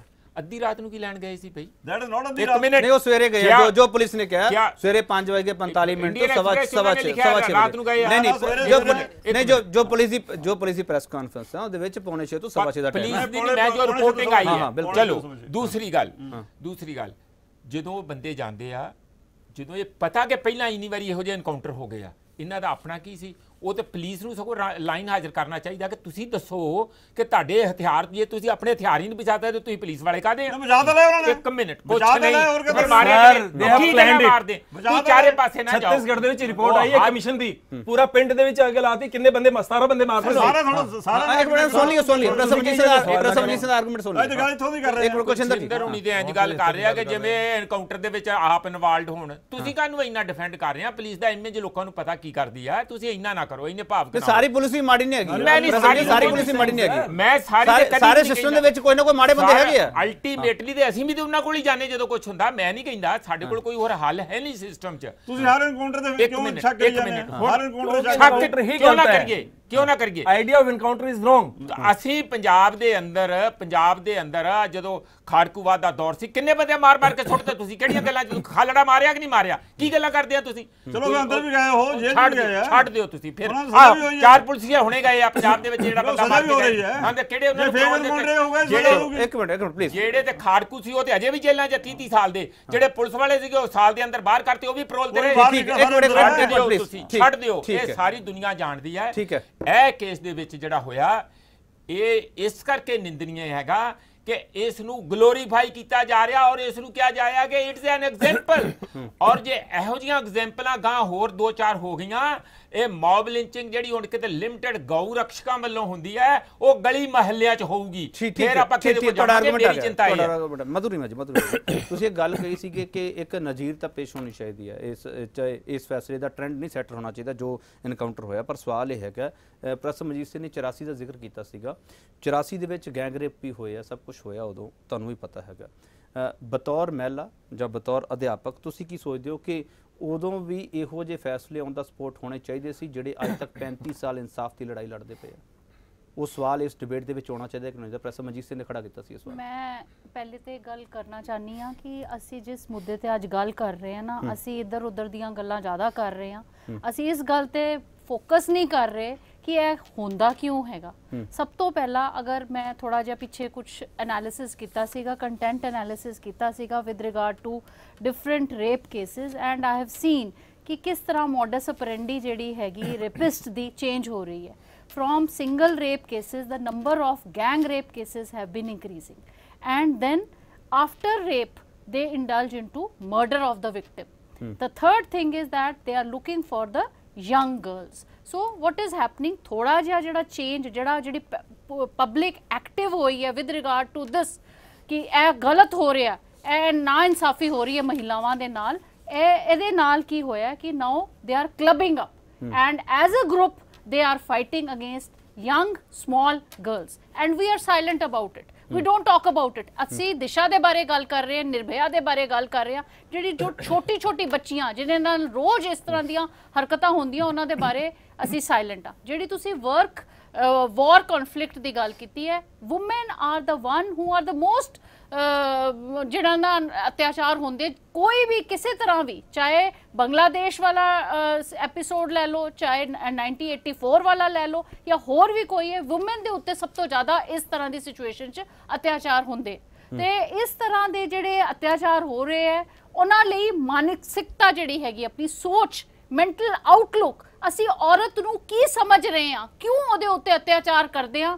ਕਿਉਂ ਉਹਦੇ ਨਾਲ ਇਸ ਤਰ੍ਹਾਂ ਦੀਆਂ ਹਰਕਤਾਂ ਹੁੰਦੀਆਂ? ਇਹ ਕੁਐਸਚਨ ਜਿਹੜਾ ਹੈਗਾ ਮੈਂ ਬਾਰੀ-ਬਾਰੀ ਬਾਰੀ-ਬਾਰੀ ਇਹੀ ਰੇਸ ਕਰਨਾ ਚਾਹਾਂਗੀ। ਮੈਨੂੰ ਇਸ ਤਰ੍ਹਾਂ ਦੇ ਕਨਸੀਕੁਐਂਸਸ ਦੇ ਬਾਰੇ ਮੈਂ ਗੱਲ ਨਾ ਕਰਕੇ I am going for the causes we have to stop this practice ਜਿਹੜੀ ਹੋ ਰਹੀ ਹੈ ਸਮਾਜ ਵਿੱਚ ਇਹਨੂੰ ਖਤਮ ਕਰਨ ਦੀ ਜ਼ਰੂਰਤ ਹੈ। ਸਾਨੂੰ ਆਪਣੇ ਮੁੰਡਿਆਂ ਨੂੰ ਬਦਲਣ ਦੀ ਜ਼ਰੂਰਤ ਹੈ ਤਾਂ ਕਿ ਇਸ ਤਰ੍ਹਾਂ ਦੇ ਐਪੀਸੋਡਸ ਇਸ ਤਰ੍ਹਾਂ ਦੇ ਜਿਹੜੇ ਵਾਦ ਵਿਵਾਦ ਹੈਗੇ ਇਸ ਤਰ੍ਹਾਂ ਦੇ ਹੋਣੇ ਬੰਦ ਹੋ ਜਾਣ। ਠੀਕ ਹੈ ਠੀਕ ਹੈ। ਮੈਂ ਇੱਕ ਛੋਟਾ ਜਿਹਾ ਬ੍ਰੇਕ ਲੈ ਕੇ ਛੋਟਾ ਜਿਹਾ ਬ੍ਰੇਕ ਲੈ ਕੇ ਵਾਪਸ ਆ ਜਾਵਾਂ। ਇੱਕ ਛੋਟਾ ਜਿਹਾ ਬ੍ਰੇਕ ਲੈਣੇ ਆ ਇਸ ਡਿਬੇਟ ਦੇ ਵਿੱਚ ਹਰ ਤਰ੍ਹਾਂ ਦਾ ਸਵਾਲ ਆਪਣੇ ਆਪਣੇ ਤਰੀਕੇ ਨਾਲ ਆ ਰਿਹਾ ਹੈਗਾ ਤੇ ਹਰ ਸਵਾਲ ਦਾ ਜਵਾਬ ਤੁਹਾਡੇ ਕੋਲੇ ਵੀ ਹੈਗਾ ਤੇ ਤੁਹਾਨੂੰ ਮਿਲਣਾ ਵੀ ਚਾਹੀਦਾ ਹੈਗਾ ਕਿ ਸਾਡੇ ਕਿਹੜੇ ਕਿਹੜੇ ਸਿਸਟਮ ਦੇ ਵਿੱਚ ਖਾਮੀਆਂ ਹੈਗੀਆਂ। ਪਰ ਇਹਨਾਂ ਸਭ ਦੇ ਵਿਚਾਲੇ ਜੋ ਪ੍ਰੋਫੈਸਰ ਮਧੂ ਰਿਮਾ ਨੇ ਇਸ ਜਿਹੜਾ ਤੀਜਾ ਸੈਗਮੈਂਟ ਹੈਗਾ, ਉਸ ਦੇ ਅਖੀਰ ਵਿੱਚ ਇਹ ਸਵਾਲ ਰੱਖਿਆ ਹੈਗਾ ਕਿ ਅਸੀਂ ਕਾਰਨਾਂ ਵੱਲ ਨਹੀਂ ਜਾ ਰਹੇ ਤੇ ਉਹਨਾਂ ਦੇ ਹੱਲ ਵੱਲ ਵੀ ਨਹੀਂ ਜਾ ਰਹੇ ਹੈ ਕਿ ਸਾਡਾ ਸਮਾਜ ਆ ਜਿਹੜਾ, ਉਹ ਕਿਹੋ ਜੀ ਮਾਨਸਿਕਤਾ ਦਾ ਸ਼ਿਕਾਰ ਹੋ ਰਿਹਾ ਹੈਗਾ, ਉਹਨਾਂ ਨੂੰ ਇਧਰ ਲੈ ਕੇ ਕੌਣ ਜਾ ਰਿਹਾ ਹੈਗਾ, ਇਹ ਵੀ ਸਾਨੂੰ ਲੱਭਣਾ ਪਵੇਗਾ, ਤਾਂ ਹੀ ਹੱਲ ਲੱਭੇਗਾ। ਨਹੀਂ ਤਾਂ ਸਾਡਾ ਮਾਨਸਿਕ ਇਨਕਾਊਂਟਰ ਵੀ ਹੋ ਰਿਹਾ ਬ੍ਰੇਕ ਤੋਂ ਵਾਪਸ ਆ ਰਹੇ ਹਾਂ। ਵਾਲੇ ਕੋਈ ਪੁੱਛ ਰਹੇ ਆ ਹైదరాబాద్ ਗੈਂਗਰੇਪ ਮਰਡਰ ਮਾਮਲੇ 'ਚ ਇਨਕਾਊਂਟਰ ਨੇ ਕਿਸ ਲਈ ਚੁਣੌਤੀ ਖੜੀ ਕੀਤੀ? ਮਧੁਰਿਮਾ ਜੀ, ਇੱਕ ਸੰਖੇਪ ਦੇ ਵਿੱਚ ਮੈਨੂੰ ਜਵਾਬ ਦੇ ਦਿਓ, ਤੁਹਾਨੂੰ ਵਜ੍ਹਾ ਕੀ ਲੱਗਦੀ ਹੈ? ਇਹ ਗੈਂਗਰੇਪ ਦੀਆਂ ਵਾਰਦਾਤਾਂ ਕਿਉਂ ਵਧਦੀਆਂ ਪਈਆਂ? ਉਸ ਤੋਂ ਬਾਅਦ ਮਾਰਨ ਦਾ ਟ੍ਰੈਂਡ ਆ ਜਿਹੜਾ, ਉਹ ਕਿਉਂ ਸੈੱਟ ਕੀਤਾ ਜਾ ਰਿਹਾ? ਉਸ ਪਿੱਛੇ ਕੀ ਹੈ? ਮੇਨ ਜਿਹੜਾ ਮੈਨੂੰ ਲੱਗ ਰਿਹਾ ਹੈ ਕਿ ਜਿਹੜਾ ਮੈਂ ਸ਼ੁਰੂ ਵੀ ਆਪਣਾ ਜਿਹੜਾ ਵਿਊ ਵਿਊਜ਼ ਦਿੱਤੇ ਸੀਗੇ ਉਸ ਟਾਈਮ ਵੀ ਮੈਂ ਗੱਲ ਕੀਤੀ ਸੀਗੀ ਕਿ ਜਿਹੜਾ ਆਬਜੈਕਟੀਫਿਕੇਸ਼ਨ ਹੈ ਸੌਰੀ ਟੂ ਸੇ ਮੀਡੀਆ ਦਾ ਜਿਹੜਾ ਇਹਦੇ ਵਿੱਚ ਰੋਲ ਹੈਗਾ ਉਹ ਵੀ ਕਾਫੀ 네ਗੇਟਿਵ ਹੈ 네ਗੇਟਿਵ ਪੋਰਟਰੇਅਲ ਆਫ ਔਮਨ ਬਹੁਤ ਜ਼ਿਆਦਾ। ਮੈਂ ਮੈਂ ਮੰਨਦਾ ਪਿਆ ਮੈਂ ਮੰਨਦਾ ਪਿਆ that is a main culprit and ਅਗਰ ਤੁਸੀਂ ਦੇਖੋ pornography child pornography and with regard to there are CDs which show how people are doing rape and people buy that and watch that hmm. this ਜਿਹੜਾ outlook ਹੈਗੀ ਹੈ ਜਿਸ ਇਸ ਤਰ੍ਹਾਂ ਦੀ ਜਿਹੜੀ ਸੋਚ ਹੈਗੀ ਹੈ ਉਹ ਕੀ ਦਰਸਾਉਂਦੀ ਹੈ ਕਿ ਅਸੀਂ ਔਰਤ ਲਈ ਕੋਈ ਸਾਡੇ ਮਨ 'ਚ ਕੋਈ ਇੱਜ਼ਤ ਕੋਈ ਉਹਨਾਂ ਲਈ ਨਹੀਂ ਹੈਗੇ। ਜਦ ਆਪਣੀ ਬੇਟੀ ਨਾਲ ਕੁਝ ਹੋ ਰਿਹਾ ਤਾਂ ਅਸੀਂ ਪਰੇਸ਼ਾਨ ਹੈ। ਜਦ ਕਿਸੇ ਹੋਰ ਦੀ ਬੇਟੀ ਨਾਲ ਹੋ ਰਿਹਾ ਕਿਸੇ ਹੋਰ ਦੀ ਧੀ ਨਾਲ ਹੋ ਰਿਹਾ ਤਾਂ ਅਸੀਂ ਚੁੱਪ ਕਰਕੇ ਬੈਠੇ ਤੁਹਾਨੂੰ ਲੱਗਦਾ ਕਿ ਜਿਹੜਾ ਮੀਡੀਆ ਹੈਗਾ ਚਾਹੇ ਉਹ ਵੈਬਸਾਈਟਸ ਹੈਗੀਆਂ ਚਾਹੇ ਉਹ ਸੋਸ਼ਲ ਮੀਡੀਆ ਹੈਗਾ ਇਹ ਤੇ ਜਿਹੜਾ ਮੇਨ ਸਟ੍ਰੀਮ ਮੀਡੀਆ ਹੈਗਾ ਇਹ ਸਭ ਇਸ ਲਈ ਜ਼ਿੰਮੇਵਾਰ ਹੈ। ਤੁਹਾਨੂੰ ਇਹ ਲੱਗਦਾ? ਲੱਗਦਾ ਬਿਲਕੁਲ ਹਾਂ ਹਾਂ ਪ੍ਰਸਮਜੀਤ ਸਿੰਘ ਮੈਂ ਨਿੱਕੀ ਦੀ ਗੱਲ ਇੱਥੇ ਇਹ ਕਹਿਣਾ ਕਿ ਦੋਵੇਂ ਅਸੀਂ ਸੋਸ਼ੀਓਲੋਜਿਸਟ ਹੈਗੇ ਆ ਇਹਨਾਂ ਨੇ ਕਿਹਾ ਕਿ ਜਿਹੜਾ ਸਮਾਜ ਆ ਉਹ ਬਿਮਾਰ ਹੋ ਗਿਆ। ਮੈਂ ਇਸ ਗੱਲ ਨੂੰ ਮੰਨਦਾ ਸਮਾਜ ਔਰਤ ਨਾਲ ਧੱਕਾ ਟ੍ਰੈਡੀਸ਼ਨਲੀ ਵੀ ਸੀ ਪਿੰਡਾਂ 'ਚ ਵੀ ਸੀ। ਅੱਜ ਤੋਂ 100 ਸਾਲ ਪਹਿਲਾਂ ਵੀ ਹਮੇਸ਼ਾ ਰਿਹਾ ਉਸ ਡਿਸਕ੍ਰਿਮੀਨੇਸ਼ਨ ਨਾਲ ਉਹਨਾਂ ਨਾਲ ਧੱਕਾ ਤੇ ਰਿਹਾ। ਪਰ ਅੱਜ ਦੇ ਸਮਾਜ ਦੇ ਵਿੱਚ ਉਹ ਬਰਬਰਤਾ ਦੇ ਵਿੱਚ ਬਦਲਦਾ ਜਾ ਰਿਹਾ ਉਹ ਪਹਿਲਾਂ ਨਾਲੋਂ ਵੀ ਜ਼ਿਆਦਾ ਉਹਦੀ ਵਜ੍ਹਾ ਕੀ ਹੈ? ਮੈਨੂੰ ਵਜ੍ਹਾ ਤਾਂ ਦੱਸੀ ਨਹੀਂ ਤੁਸੀਂ। ਹੈ? ਵਜ੍ਹਾ ਤਾਂ ਦੱਸੀ ਨਹੀਂ ਕੀ? ਨਹੀਂ ਨਹੀਂ ਵਜ੍ਹਾ ਇਸ ਕਰਕੇ ਕਿ ਕੋਈ ਸਸ਼ਕਤ ਨਹੀਂ ਹੈ। ਜਿਸ ਧੱਕਾ ਪਹਿਲਾਂ ਇਹ ਸੀ ਕਿ ਉਸ ਦੇ ਕੰਮ ਨੂੰ ਹੀ ਨਹੀਂ ਕੰਮ ਮੰਨਿਆ ਜਾਂਦਾ ਪਹਿਲੀ ਗੱਲ ਇਹ। ਰੈਕੋਗਨਾਈਜ਼ ਨਹੀਂ ਹੈ ਸੋਸ਼ਲੀ ਕਿਸੇ ਉਹਨੂੰ ਅਨਪ੍ਰੋਡਕਟਿਵ ਨਹੀਂ ਹੁਣ ਵਾਰਦਾਤ ਤੋਂ ਬਾਅਦ ਮਾਰਿਆ ਕਿਉਂ ਜਾ ਰਿਹਾ? ਮੇਰਾ ਸਵਾਲ ਇਹ ਹੈ। ਹਾਂ ਉਹਦਾ ਬਿਲਕੁਲ ਉਹਦਾ ਜਿਹੜਾ ਵਾਰਦਾਤ ਤੋਂ ਮਾਰਨ ਵਾਲਾ ਜਿਹੜਾ ਵਧਣ ਵਾਲੀ ਗੱਲ ਹੈਗੀ ਕਾਨੂੰਨ ਅਸੀਂ ਅੱਗੇ ਨਾਲੋਂ ਹੋਰ ਜਿਹੜਾ ਸਖਤ ਕਰੀ ਜਾ ਰਹੇ ਆ ਔਰ ਜਿਹੜੇ ਵੀ ਬੰਦੇ ਇਸ ਦੇ ਵਿੱਚ ਸ਼ਾਮਲ ਹੁੰਦੇ ਆ, ਜੇ ਤੇ ਉਹਨਾਂ ਦੇ ਕੋਈ ਕਨੈਕਸ਼ਨ ਹੋਣ, ਫਿਰ ਤੇ ਉਹ ਨਹੀਂ ਮਾਰਨਗੇ, ਉਹਨਾਂ ਨੂੰ ਪਤਾ ਹੁੰਦਾ ਕਿ ਅਸੀਂ ਚਾਰ ਪੈਸੇ ਦੇ ਕੇ ਜਾਂ ਇਨਫਲੂਐਂਸ਼ੀਅਲ ਬੰਦੇ ਹੋਣ, ਫਿਰ ਨਹੀਂ ਉਹ ਇਹ ਕਰਦੇ। ਜਦੋਂ ਉਹਨਾਂ ਨੂੰ ਇਹ ਪਤਾ ਲੱਗੇ ਕਿ ਅਸੀਂ ਹੁਣ ਪਕੜੇ ਜਾਵਾਂਗੇ ਕਿਸੇ ਨਾ ਕਿਸੇ ਤਰੀਕੇ ਨਾਲ, ਉਹ ਕਹਿੰਦੇ ਕਿ ਇਸ ਨੂੰ ਖੁਰਾ ਖੋਜ ਹੀ ਮਿਟਾ ਦਿਓ, ਬਚਣ ਦੇ ਚਾਂਸ ਆ, ਕਿਉਂਕਿ ਕਾਨੂੰਨ ਜਿਹੜਾ ਵਰਮਾ ਕਮਿਸ਼ਨ ਤੋਂ ਬਾਅਦ ਇਹਨਾਂ ਜ਼ਿਆਦਾ ਸਖਤ ਆ ਕਿ ਜਿਹੜੀਆਂ ਜਿੰਨੇ ਵੀ ਮਜਾਰੇ ਹੁੰਦੇ ਆ ਹੈਂਗ them ਹੈਂਗ them ਔਰ ਉਹਦੇ ਵਜ੍ਹਾ ਦੇ ਨਾਲ ਉਹ ਉਸ ਦੇ ਉੱਤੇ ਦੂਜੇ ਪਾਸੇ ਨੂੰ ਤੁਹਾਨੂੰ ਲੱਗਦਾ ਕਿ ਕਾਨੂੰਨ ਸਖਤ ਹੋ ਗਿਆ? ਇਸ ਕਰਕੇ ਇਹ ਕੇਸਸ ਵਧ ਰਹੇ ਆ। ਕੁਸ਼ਿੰਦਰ ਸਿੰਘ ਜੀ ਇੱਕ ਆਖਰੀ ਕਮੈਂਟ ਮੈਨੂੰ ਤੁਹਾਡੇ ਤੋਂ ਚਾਹੀਦਾ ਕਿ ਜਿਹੜਾ ਇਨਕਾਊਂਟਰ ਹੋਇਆ ਇਨਕਾਊਂਟਰ ਦੇ ਪਰਿਸਥਿਤੀਆਂ ਕੀ ਸੀਗੀਆਂ ਹਾਲਾਤ ਕੀ ਸੀ ਉਹ ਇੱਕ ਵੱਖਰੀ ਜਾਂਚ ਦਾ ਵਿਸ਼ਾ ਹੈਗਾ ਜਿਵੇਂ ਤੁਸੀਂ ਕਹਿ ਚੁੱਕੇ ਹੋ। ਪਰ ਇਸ ਦੇ ਨਾਲ ਕਿਤੇ ਇਉਂ ਤਾਂ ਨਹੀਂ ਲੱਗਦਾ ਕਿ ਸਬੂਤ ਹੈ ਜਿਹੜੇ ਇਸ ਪੂਰੀ ਥਿਊਰੀ ਨੂੰ ਬਾਹਰ ਆਉਣਾ ਸੀਗਾ ਉਸ ਤੋਂ ਬਾਅਦ ਕੁਝ ਹੋਰ ਚੀਜ਼ਾਂ ਪੁਲਿਸ ਨੇ ਸੋਚਣੀਆਂ ਸੀਗੀਆਂ ਪੁਲਿਸ ਨੇ ਉਹਨਾਂ ਚੀਜ਼ਾਂ ਤੇ ਕੰਮ ਕਰਨਾ ਸੀਗਾ ਜੋ ਚੀਜ਼ਾਂ ਇਹ ਸੋਚ ਕੇ ਜਿਹੜੇ ਇਹਨਾਂ ਦੀ ਮਾਨਸਿਕਤਾ ਸੀ ਮੁਲਜ਼ਮਾਂ ਦੀ ਉਸ ਨੂੰ ਪੜ੍ਹਨਾ ਸੀਗਾ ਵਾਚਣਾ ਸੀਗਾ ਉਹ ਸਬੂਤ ਵੀ ਖਤਮ ਹੋ ਗਏ ਨਾਲ ਹੀ। ਨਹੀਂ ਇਹ ਤਾਂ ਜ਼ਰੂਰੀ ਨਹੀਂ ਹੈ ਦੇਖੋ ਇਹ 4 ਤਰੀਕ ਨੂੰ ਫੜਿਆ 6 ਨੂੰ ਐਨਕਾਊਂਟਰ ਹੋਇਆ। ਜੇ ਐਨਕਾਊਂਟਰ ਕਰਨ ਦੀ ਨੀਤ ਤੁਸੀਂ ਪਹਿਲਾਂ ਹੀ ਕਰ ਦਿੰਦੇ ਐਨਕਾਊਂਟਰ ਕਰਨਾ ਜੇ ਜੇ ਤੁਸੀਂ ਫੇਕ ਐਨਕਾਊਂਟਰ ਹੀ ਕਰਨਾ 4 ਨੂੰ ਕਰ ਦਿੰਦੇ ਤੁਹਾਨੂੰ ਲੱਗਦਾ ਕਿ ਪੁਲਿਸ ਉਹ ਪੁਲਿਸ ਉਹ- ਦੋ ਦਿਨ ਕਿਉਂ ਸਬੂਤ ਇਕੱਠੇ ਪੁਲਿਸ- ਰਹੇ ਹੋ? ਪੁਲਿਸ ਉਹ ਮੋਡਸ ਆਪਰੈਂਡੀ ਲੱਭ ਚੁੱਕੀ ਹੈ ਪੁਲਿਸ ਨੂੰ ਸਭ ਕੁਝ ਸਮਝ ਆ ਗਿਆ ਦੋ ਦਿਨ ਇਹਨਾਂ ਦੀ- ਉਹਨਾਂ ਕੋਲ ਰਹੇ ਆ। ਇਹਨਾਂ ਦੀ। ਮਾਨਸਿਕਤਾ ਕੀ ਸੀ। ਪੁਲਿਸ ਨੇ ਤੈਅ ਕਰ ਲਿਆ ਕਿ ਇਹੀ ਇਹੀ ਦੋਸ਼ੀ ਮਾਨਸਿਕਤਾ। ਤਾਂ ਮਾਨਸਿਕਤਾ ਤੈ- ਤੈਅ ਨਹੀਂ ਕੀਤੀ ਬਾਕੀ ਉਹਨੂੰ ਸਬੂਤ ਤਾਂ ਲੱਭਿਆ ਹੀ ਹੈ ਸਬੂਤ। ਲੱਭ ਕੇ ਤੁਹਾਨੂੰ ਲੱਗਦਾ ਕਿ ਸਬੂਤ ਨਹੀਂ ਖਤ- ਖਤਮ ਹੋਏ ਹੋਣਗੇ ਇਸ ਐਨਕਾਊਂਟਰ ਨਹੀਂ ਨਹੀਂ ਨਹੀਂ ਨਹੀਂ ਖਤਮ ਹੋਏ ਹੋਣਗੇ। ਪੁਲਿਸ ਨੇ ਆਪਦੀ ਤਹਿਕੀਕਾਤ ਕਰ ਲਈ ਬਿਲਕੁਲ। ਨਹੀਂ ਖਤਮ ਹੋਏ ਹਾਂ ਰਜੀਵ ਗੁਜ਼ਾਰਾ ਸਾਹਿਬ ਇਸ ਡਿਬੇਟ ਨੂੰ ਐਂਡ ਕਰਨਾ। ਕਿਹੜੇ ਨੋਟ ਤੇ ਜਾ ਕੇ ਐਂਡ ਕਰਾਂ? ਸਿਰ ਦੋ ਤਿੰਨ ਗੱਲਾਂ ਕਹਿਣਾ ਚਾਹਨਾ। ਹਾਂ ਸੰਖੇਪ ਚ ਕਹੀਓ। ਬਿਲਕੁਲ। ਹਾਂ। ਕਠਵਾ ਦੇ ਵਿੱਚ ਘਟਨਾ ਹੋਈ ਆਪਾਂ ਯਾਦ ਕਰੀਏ ਰੇਪ ਦੀ ਘਟਨਾ ਸੀ। ਹੂੰ। ਉਹਦੇ ਵਿੱਚ ਲੋਕ ਜਿਹੜੇ ਰੇਪਿਸਟ ਸੀ ਜਿਹੜੇ ਬਾਅਦ ਚ ਦੋਸ਼ੀ ਕਰਾਰ ਦਿੱਤੇ ਗਏ ਅਦਾਲਤ ਰਾਹੀਂ ਪੂਰੀ ਪ੍ਰਕਿਰਿਆ ਤੋਂ ਬਾਅਦ ਉਹਨਾਂ ਨਾਲ ਖੜੇ ਹੋ ਕੇ ਬਿਆਨਬਾਜ਼ੀ ਕਰ ਰਹੇ ਸੀ। ਸਾਡਾ ਸਮਾਜ ਚੁੱਪ ਸੀ। ਕੌਣ ਕੌਣ ਚੁੱਪ ਸੀ? ਅਸੀਂ ਆਪਦੇ ਅੰਦਰ ਝਾਂਕ ਕੇ ਵੇਖ ਲਈਏ ਤੇ ਕੌਣ ਸੈਕਟਰਾਂ ਤੇ ਜਾ ਕੇ 17 ਸੈਕਟਰ 'ਚ ਜਾ ਕੇ ਆਪ ਆਪਦੇ ਜ਼ਿਲ੍ਹਿਆਂ ਦੇ ਵਿੱਚ ਆਪ ਆਪਦੇ ਸਟੇਟ ਦੇ ਵਿੱਚ ਪ੍ਰੋਟੈਸਟ ਕਰ ਰਹੇ ਸੀ। ਉਸ ਤੋਂ ਬਾਅਦ ਉਨਾਵ ਦੀ ਘਟਨਾ ਹੋਈ ਜਿੱਥੇ ਇੱਕ ਪਾਵਰਫੁਲ ਬੰਦਾ ਇਨਵੋਲਵ ਸੀਗਾ। ਕੁਲਦੀਪ ਸੈਂਗਰ। ਸੈਂਗਰ। ਕੌਣ ਸੜਕਾਂ ਤੇ ਸੀ ਕੌਣ ਵਿਰੋਧ ਕਰ ਰਹੇ ਸੀ ਕੌਣ ਚੁੱਪ ਘਰਾਂ 'ਚ ਸੀਗਾ। ਉਸ ਤੋਂ ਬਾਅਦ ਮਨੋਰਮਾ ਦੀ ਘਟਨਾ ਆਪਾਂ ਯਾਦ ਕਰ ਲਈਏ। ਸੋਨੀ ਸੋਰੀ ਨਾਲ ਜਿਹੜਾ ਪੁਲਿਸ ਨੇ ਕੀਤਾ ਛੱਤੀਸਗੜ੍ਹ ਦੇ ਵਿੱਚ ਉਹਦੇ ਪ੍ਰਾਈਵੇਟ ਪਾਰਟਸ ਦੇ ਵਿੱਚ ਪੱਥਰ ਭਰ ਦਿੱਤੇ ਸੀ। ਉਸ ਪੁਲਿਸ ਅਫਸਰ ਨੂੰ ਸਾਡੇ ਸਮਾਜ ਨੇ ਸਾਡੇ ਸਿਸਟਮ ਨੇ ਸਨਮਾਨਿਤ ਕੀਤਾ। ਉਹਦੇ ਬਾਰੇ ਅਸੀਂ ਬੋਲੇ ਨਹੀਂ ਸੀ ਚੁੱਪ ਰਹੇ। ਇਹ ਸਾਡਾ ਮਹਿਲਾ ਦੇ ਪ੍ਰਤੀ ਨਜ਼ਰੀਆ ਸਮਾਜ ਦਾ ਹੈਗਾ। ਇਹ ਸੋਚਣਾ ਚਾਹੀਦਾ ਵੱਡੀ ਗੱਲਾਂ ਕਰਨ ਤੋਂ ਪਹਿਲਾਂ। ਅਗਲੀ ਗੱਲ ਆਪਾਂ ਜਦੋਂ ਗੱਲ ਕਰਦੇ ਹਾਂ ਕਾਰਨ ਕੀ ਨੇ? ਇਹਦੀ ਰੇਪ ਦੀ ਆਪਾਂ ਜਦੋਂ ਗੱਲ ਕਰ ਰਹੇ ਹਾਂ। ਕਾਰਨ ਕੀ ਨੇ? ਰੋਕ ਕਿਵੇਂ ਹੋਵੇ? ਸਜ਼ਾ ਕਿਵੇਂ ਹੋਣੀ ਚਾਹੀਦੀ ਹੈ? ਨਿਆਂ ਪੀੜਿਤ ਨੂੰ ਕਿਵੇਂ ਮਿਲੇ? ਤੇ ਫਿਰ ਜਿਹੜੀ ਸੰਵਿਧਾਨਿਕ ਪ੍ਰਕਿਰਿਆ ਹੈ ਅਪਰਾਧੀ ਤੇ ਆਰੋਪੀ ਦੇ ਵਿੱਚ ਫ਼ਰਕ ਕਰਨ ਦੀ ਜਿਹੜਾ ਸਾਡਾ ਸੰਵਿਧਾਨਿਕ ਵਿਵਸਥਾ ਹੈ ਉਹਦਾ ਕਿਵੇਂ ਸਨਮਾਨ ਅਸੀਂ ਕਰੀਏ? ਇਹ ਸਾਡੇ ਸਵਾਲ ਨੇ ਸਾਰੇ। ਇੱਕ ਗੱਲ ਜਿਹੜੀ ਤੁਸੀਂ ਕਾਰਨ ਦੀ ਗੱਲ ਕਰ ਰਹੇ ਸੀ ਮੈਨੂੰ ਲੱਗਦਾ ਹੈ ਕਿਤੇ ਨੇ ਕਿਤੇ ਸਬੂਤ ਨਸ਼ਟ ਕਰਨ ਦਾ ਇੱਕ ਵਿਚਾਰ ਵੀ ਇਹਦਾ ਹਿੱਸਾ ਹੋ ਸਕਦਾ ਨੋਟ ਕਿ ਹਰ ਕੇਸ 'ਚ ਇਹੀ ਹੋਏਗਾ।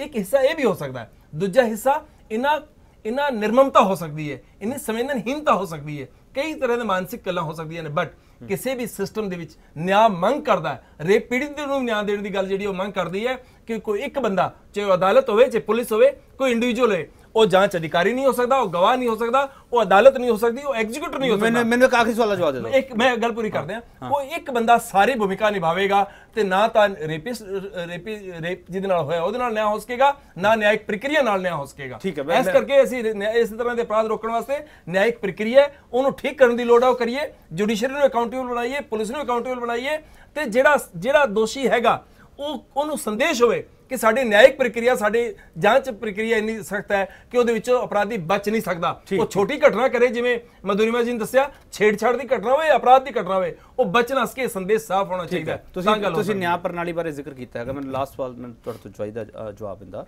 ਕਿ ਇਸ ਪੂਰੇ ਮਾਮਲੇ ਦੇ ਵਿੱਚ ਕੀ ਕੋਰਟ ਨੂੰ ਕੁਝ ਬੋਲਣਾ ਚਾਹੀਦਾ ਸਿਓਮੋਟੋ ਲੈਣਾ ਚਾਹੀਦਾ ਬਿਲਕੁਲ ਕੋਰਟ ਨੂੰ ਲੈਣਾ ਚਾਹੀਦਾ। ਮੈਂ ਤੁਹਾਨੂੰ ਇੱਕ ਕੇਸ ਦਾ ਜ਼ਿਕਰ ਕਰਦੇ ਹਾਂ। ਕੋਰਟਾਂ ਬਾਰੇ ਤੁਸੀਂ ਕਹਿ ਰਹੇ ਸੀ ਕੋਰਟਾਂ ਬਾਰੇ ਗੱਲ ਨਹੀਂ ਕੀਤੀ। ਮੈਂ ਇੱਕ ਜ਼ਿਕਰ ਕਰਦੇ ਹਾਂ। ਗਲੋਬਲ ਜਿੰਦਲ ਲਾਅ ਸਕੂਲ ਜਿਹੜਾ ਹੈ ਸੋਨੀਪਤ ਦੇ ਵਿੱਚ ਉੱਥੇ ਰੇਪ ਦੀ ਘਟਨਾ ਹੋਈ। ਇੱਕ ਕੁੜੀ ਨਾਲ ਤਿੰਨ ਮੁੰਡਿਆਂ ਨੂੰ ਸਜ਼ਾ ਹੋ ਗਈ। ਹਾਈ ਕੋਰਟ ਦੇ ਵਿੱਚ ਕੇਸ ਆਇਆ। ਸਸਪੈਂਸ਼ਨ ਆਫ ਸੈਂਟੈਂਸ ਦਾ ਕੇਸ ਆਇਆ।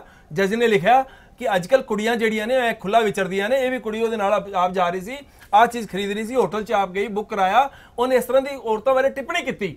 ਸਮਾਜ ਨੇ ਉਹਦੀ ਨਿੰਦਾ ਕੀਤੀ ਤੇ ਨਿੰਦਾ ਕਰਨੀ ਚਾਹੀਦੀ ਸੀ। ਸੁਪਰੀਮ ਕੋਰਟ ਦੇ ਜਦੋਂ ਕੇਸ ਗਿਆ ਸੁਪਰੀਮ ਕੋਰਟ ਨੇ ਉਹ ਬੰਦੇ ਦੀ ਜਿਹੜੀ ਦੀ ਸਸਪੈਂਸ਼ਨ ਸੈਂਟੈਂਸ ਸੀ ਰੱਦ ਨਹੀਂ ਨਹੀਂ ਕੀਤੀ। ਮੇਰਾ ਮੇਰਾ ਸਵਾਲ ਇਹ ਹੈ ਗੁਜ਼ਾਰਾ ਸਾਹਿਬ ਕਿ ਸੁਪਰੀਮ ਕੋਰਟ ਨੂੰ ਪੂਰਾ ਦੇਸ਼। ਇਸ ਮਾਮਲੇ ਨੂੰ ਦੇਖ ਰਿਹਾ ਸੁਪਰੀਮ। ਕੋਰਟ ਨੂੰ ਸੁਮੋਟੋ ਲੈਣਾ ਚਾਹੀਦਾ ਬਿਲਕੁਲ ਲੈਣਾ ਚਾਹੀਦਾ ਕਦੋਂ ਮੋਨੀਟਰਿੰਗ ਕਰਨੀ ਚਾਹੀਦੀ ਕਦੋਂ ਹੈ। ਤੱਕ ਕਦੋਂ ਤੱਕ ਅਸੀਂ ਇੰਤਜ਼ਾਰ ਕਰੀਏ? ਮੈਨੂੰ ਲੱਗਦਾ ਜਿੰਨਾ ਛੇਤੀ ਕੀਤਾ ਕਿਉਂਕਿ ਨਿਆਂ ਪ੍ਰਣਾਲੀ ਤੇ ਸਵਾਲ ਉੱਠਿਆ। ਬਹੁਤ ਵੱਡਾ ਕੁਐਸਚਨ ਹੈ ਨਿਆਂ ਪ੍ਰਣਾਲੀ ਤੇ। ਨਿਆਂ ਪ੍ਰਣਾਲੀ ਦੀ ਕੀ ਗੱਲ ਕਰੀਏ। ਜਦੋਂ ਸਾਡੇ ਦੇਸ਼ ਦੇ ਚੀਫ ਜਸਟਿਸ ਗੋਗੋਈ ਦੇ ਖਿਲਾਫ ਇੱਕ ਮਹਿਲਾ ਆਰੋਪ ਲਾਉਂਦੀ ਹੈ ਸਾਡੇ ਦੇਸ਼ ਦੇ ਲੋਕ ਸੜਕਾਂ ਤੇ ਆ ਕੇ ਬੋਲਦੇ ਨਹੀਂ। ਕਹਿੰਦੇ ਨੇ ਉਹ ਮਹਿਲਾ ਝੂਠ ਬੋਲ ਰਹੀ ਹੈ। ਅਸੀਂ ਅੰਦਰ ਝਾਂਕ ਕੇ ਵੇਖੀਏ ਕਿ ਅਸੀਂ ਉਦੋਂ ਬੋਲੇ ਸੀ? ਕਿ ਅਸੀਂ ਉਦੋਂ ਗੱਲ ਕੀਤੀ ਸੀ? ਕਿਉਂਕਿ ਚੀਫ ਜਸਟਿਸ ਸੀਗਾ। ਕੁੱਲ ਮਿਲਾ ਕੇ ਕੁੱਲ ਮਿਲਾ ਕੇ ਅਸੀਂ ਸਾਰੇ ਗੁਨੇਗਾਰ ਹੈਗੇ। ਕੁੱਲ ਮਿਲਾ ਕੇ ਸਾਰੇ ਗੁਨੇਗਾਰ ਆ ਅਸੀਂ ਦੇਖ ਕੇ ਬੋਲਦੇ ਆ ਕਿ ਸਾਨੂੰ ਕਿਹੜੇ ਮੁੱਦੇ ਤੇ ਬੋਲਣਾ ਚਾਹੀਦਾ ਕਿਹੜੇ ਤੇ ਨਹੀਂ ਬੋਲਣਾ ਚਾਹੀਦਾ ਭੀੜ ਕਿਹੜੇ ਮੁੱਦੇ ਤੇ ਮਗਰ ਹੁੰਦੀ ਹੈ ਇਹ ਵੀ ਸਾਨੂੰ ਸੋਚਣਾ ਪਵੇਗਾ। ਸਾਡੀ ਮਾਨਸਿਕਤਾ ਜਿਹੜੀ ਉਹ ਵੀ ਦਿਨੋ ਦਿਨ ਭ੍ਰਸ਼ਟ ਹੁੰਦੀ ਜਾ ਰਹੀ ਹੈ। ਪ੍ਰਸਮ ਮਧੁਰਿਮਾ ਤੁਹਾਡਾ ਬਹੁਤ ਧੰਨਵਾਦ। ਕੁਚਿੰਦਰ ਸਿੰਘ ਤੁਹਾਡਾ ਬਹੁਤ ਧੰਨਵਾਦ। ਅਰਜੀਤ ਗੁਜ਼ਾਰਾ ਤੁਹਾਡਾ ਬਹੁਤ ਧੰਨਵਾਦ। ਪ੍ਰਸਮ ਅਜੀਤ ਸਿੰਘ ਤੁਹਾਡਾ ਬਹੁਤ ਧੰਨਵਾਦ। ਇਸ ਪੈਨਲ ਦੇ ਵਿੱਚ ਡਿਬੇਟ ਹੋਈ ਹੈ। ਮੁੱਦਾਦਾਰ ਡਿਬੇਟ ਵੀ ਹੋਈ ਹੈ। ਫੈਕਟ ਫਾਈਂਡਿੰਗ ਆਧਾਰ ਡਿਬੇਟ ਵੀ ਹੋਈ ਹੈ। ਭਾਵਨਾਵਾਂ ਦੇ ਤਹਿਤ ਵੀ ਡਿਬੇਟ ਹੋਈ ਹੈ। ਤੁਹਾਡੇ ਸਾਰੇ ਸਵਾਲਾਂ ਦੇ ਜਵਾਬ ਇਸ ਡਿਬੇਟ ਦੇ ਵਿੱਚ ਪਏ ਆ। ਤੁਸੀਂ ਸੋਚਣਾ, ਹੁਣ ਤੁਸੀਂ ਕਿਹੜੇ ਸਵਾਲਾਂ ਦੇ ਨਾਲ ਖੜਨਾ ਪਰ ਜੇ ਇਹ ਲੋਕਤੰਤਰ, ਜਿਹੜਾ ਖੂਬਸੂਰਤ ਲੋਕਤੰਤਰ ਬਚਾਉਣਾ ਹੈਗਾ, ਤਾਂ ਫਿਰ ਇਹ ਵੀ ਸਮਝਣਾ ਪਵੇਗਾ ਕਿ ਜਦੋਂ ਅਸੀਂ ਬਾਬਾ ਸਾਹਿਬ, ਡਾਕਟਰ ਭੀਮ ਰਾਓ ਅੰਬੇਡਕਰ ਦੀ ਬਰਸੀ ਬਣਾ ਰਹੀ ਹੋਏ ਹੋਈ ਹੈ ਜਿਸ ਦਿਨ ਜਿਸ ਦਿਨ ਬਾਬਰੀ ਢਾਂਚੇ ਦੀ ਗੱਲ ਹੋ ਰਹੀ ਹੋਵੇ 6 ਦਸੰਬਰ ਦਾ ਦਿਨ, ਉਸ ਦਿਨ ਜਦੋਂ ਇਹ ਇਨਕਾਊਂਟਰ ਸਾਹਮਣੇ ਆਉਂਦਾ ਤਾਂ ਫਿਰ ਇਹ ਸਵਾਲ ਪੁੱਛਿਓ ਜ਼ਰੂਰ ਆਪਦੇ ਆਪ ਨੂੰ ਕਿ ਸੰਵਿਧਾਨ ਨੂੰ ਕਿਤੇ ਖਤਰਾ ਤਾਂ ਨਹੀਂ ਮਹਿਸੂਸ ਹੋ ਰਿਹਾ ਤੇ ਸੰਵਿਧਾਨ ਨੂੰ ਖਤਰਾ ਪੈਦਾ ਕਰਨ ਵਾਲੇ ਕੌਣ ਲੋਕ ਹਨ? ਲੋਕਤੰਤਰ ਨੂੰ ਖਤਰਾ ਪੈਦਾ ਕਰਨ ਵਾਲੇ ਕੌਣ ਲੋਕ ਹਨ? ਇਹ ਸਾਰੇ ਸਵਾਲ ਸਾਨੂੰ ਸੋਚਣੇ ਪੈਣਗੇ, ਤਾਂ ਹੀ ਸਾਡੀ ਮਾਨਸਿਕਤਾ ਜਿਹੜੀ, ਉਹ ਸਹੀ ਤਰੀਕੇ ਨਾਲ ਕੰਮ ਕਰੇਗੀ। ਸਾਡੀ ਮਾਨਸਿਕਤਾ ਜਿਹੜੀ, ਸਾਡਾ, ਅਸੀਂ ਮਾਨਸਿਕ ਤੌਰ ਤੇ ਬਿਮਾਰ ਹੁੰਦੇ ਜਾ ਰਹੇ ਹਾਂ, ਸਾਨੂੰ ਸੋਚਣਾ ਪਵੇਗਾ, ਅਸੀਂ ਜਾ ਕਿੱਧਰ ਰਹੇ ਹਾਂ। ਇਹ ਕਿਹੜੇ ਸਿਸਟਮ ਦਾ ਐਨਕਾਊਂਟਰ ਹੀ ਸਵਾਲ ਕੀਤਾ ਸੀਗਾ। ਸਿਸਟਮ ਉਹ ਹੈ ਜਿਹੜਾ ਨਿਆਂ ਨਹੀਂ ਦਿੰਦਾ, ਉਹ ਸਿਸਟਮ ਦਾ ਐਨਕਾਊਂਟਰ ਹੋਇਆ। ਬਹੁਤ ਧੰਨਵਾਦ।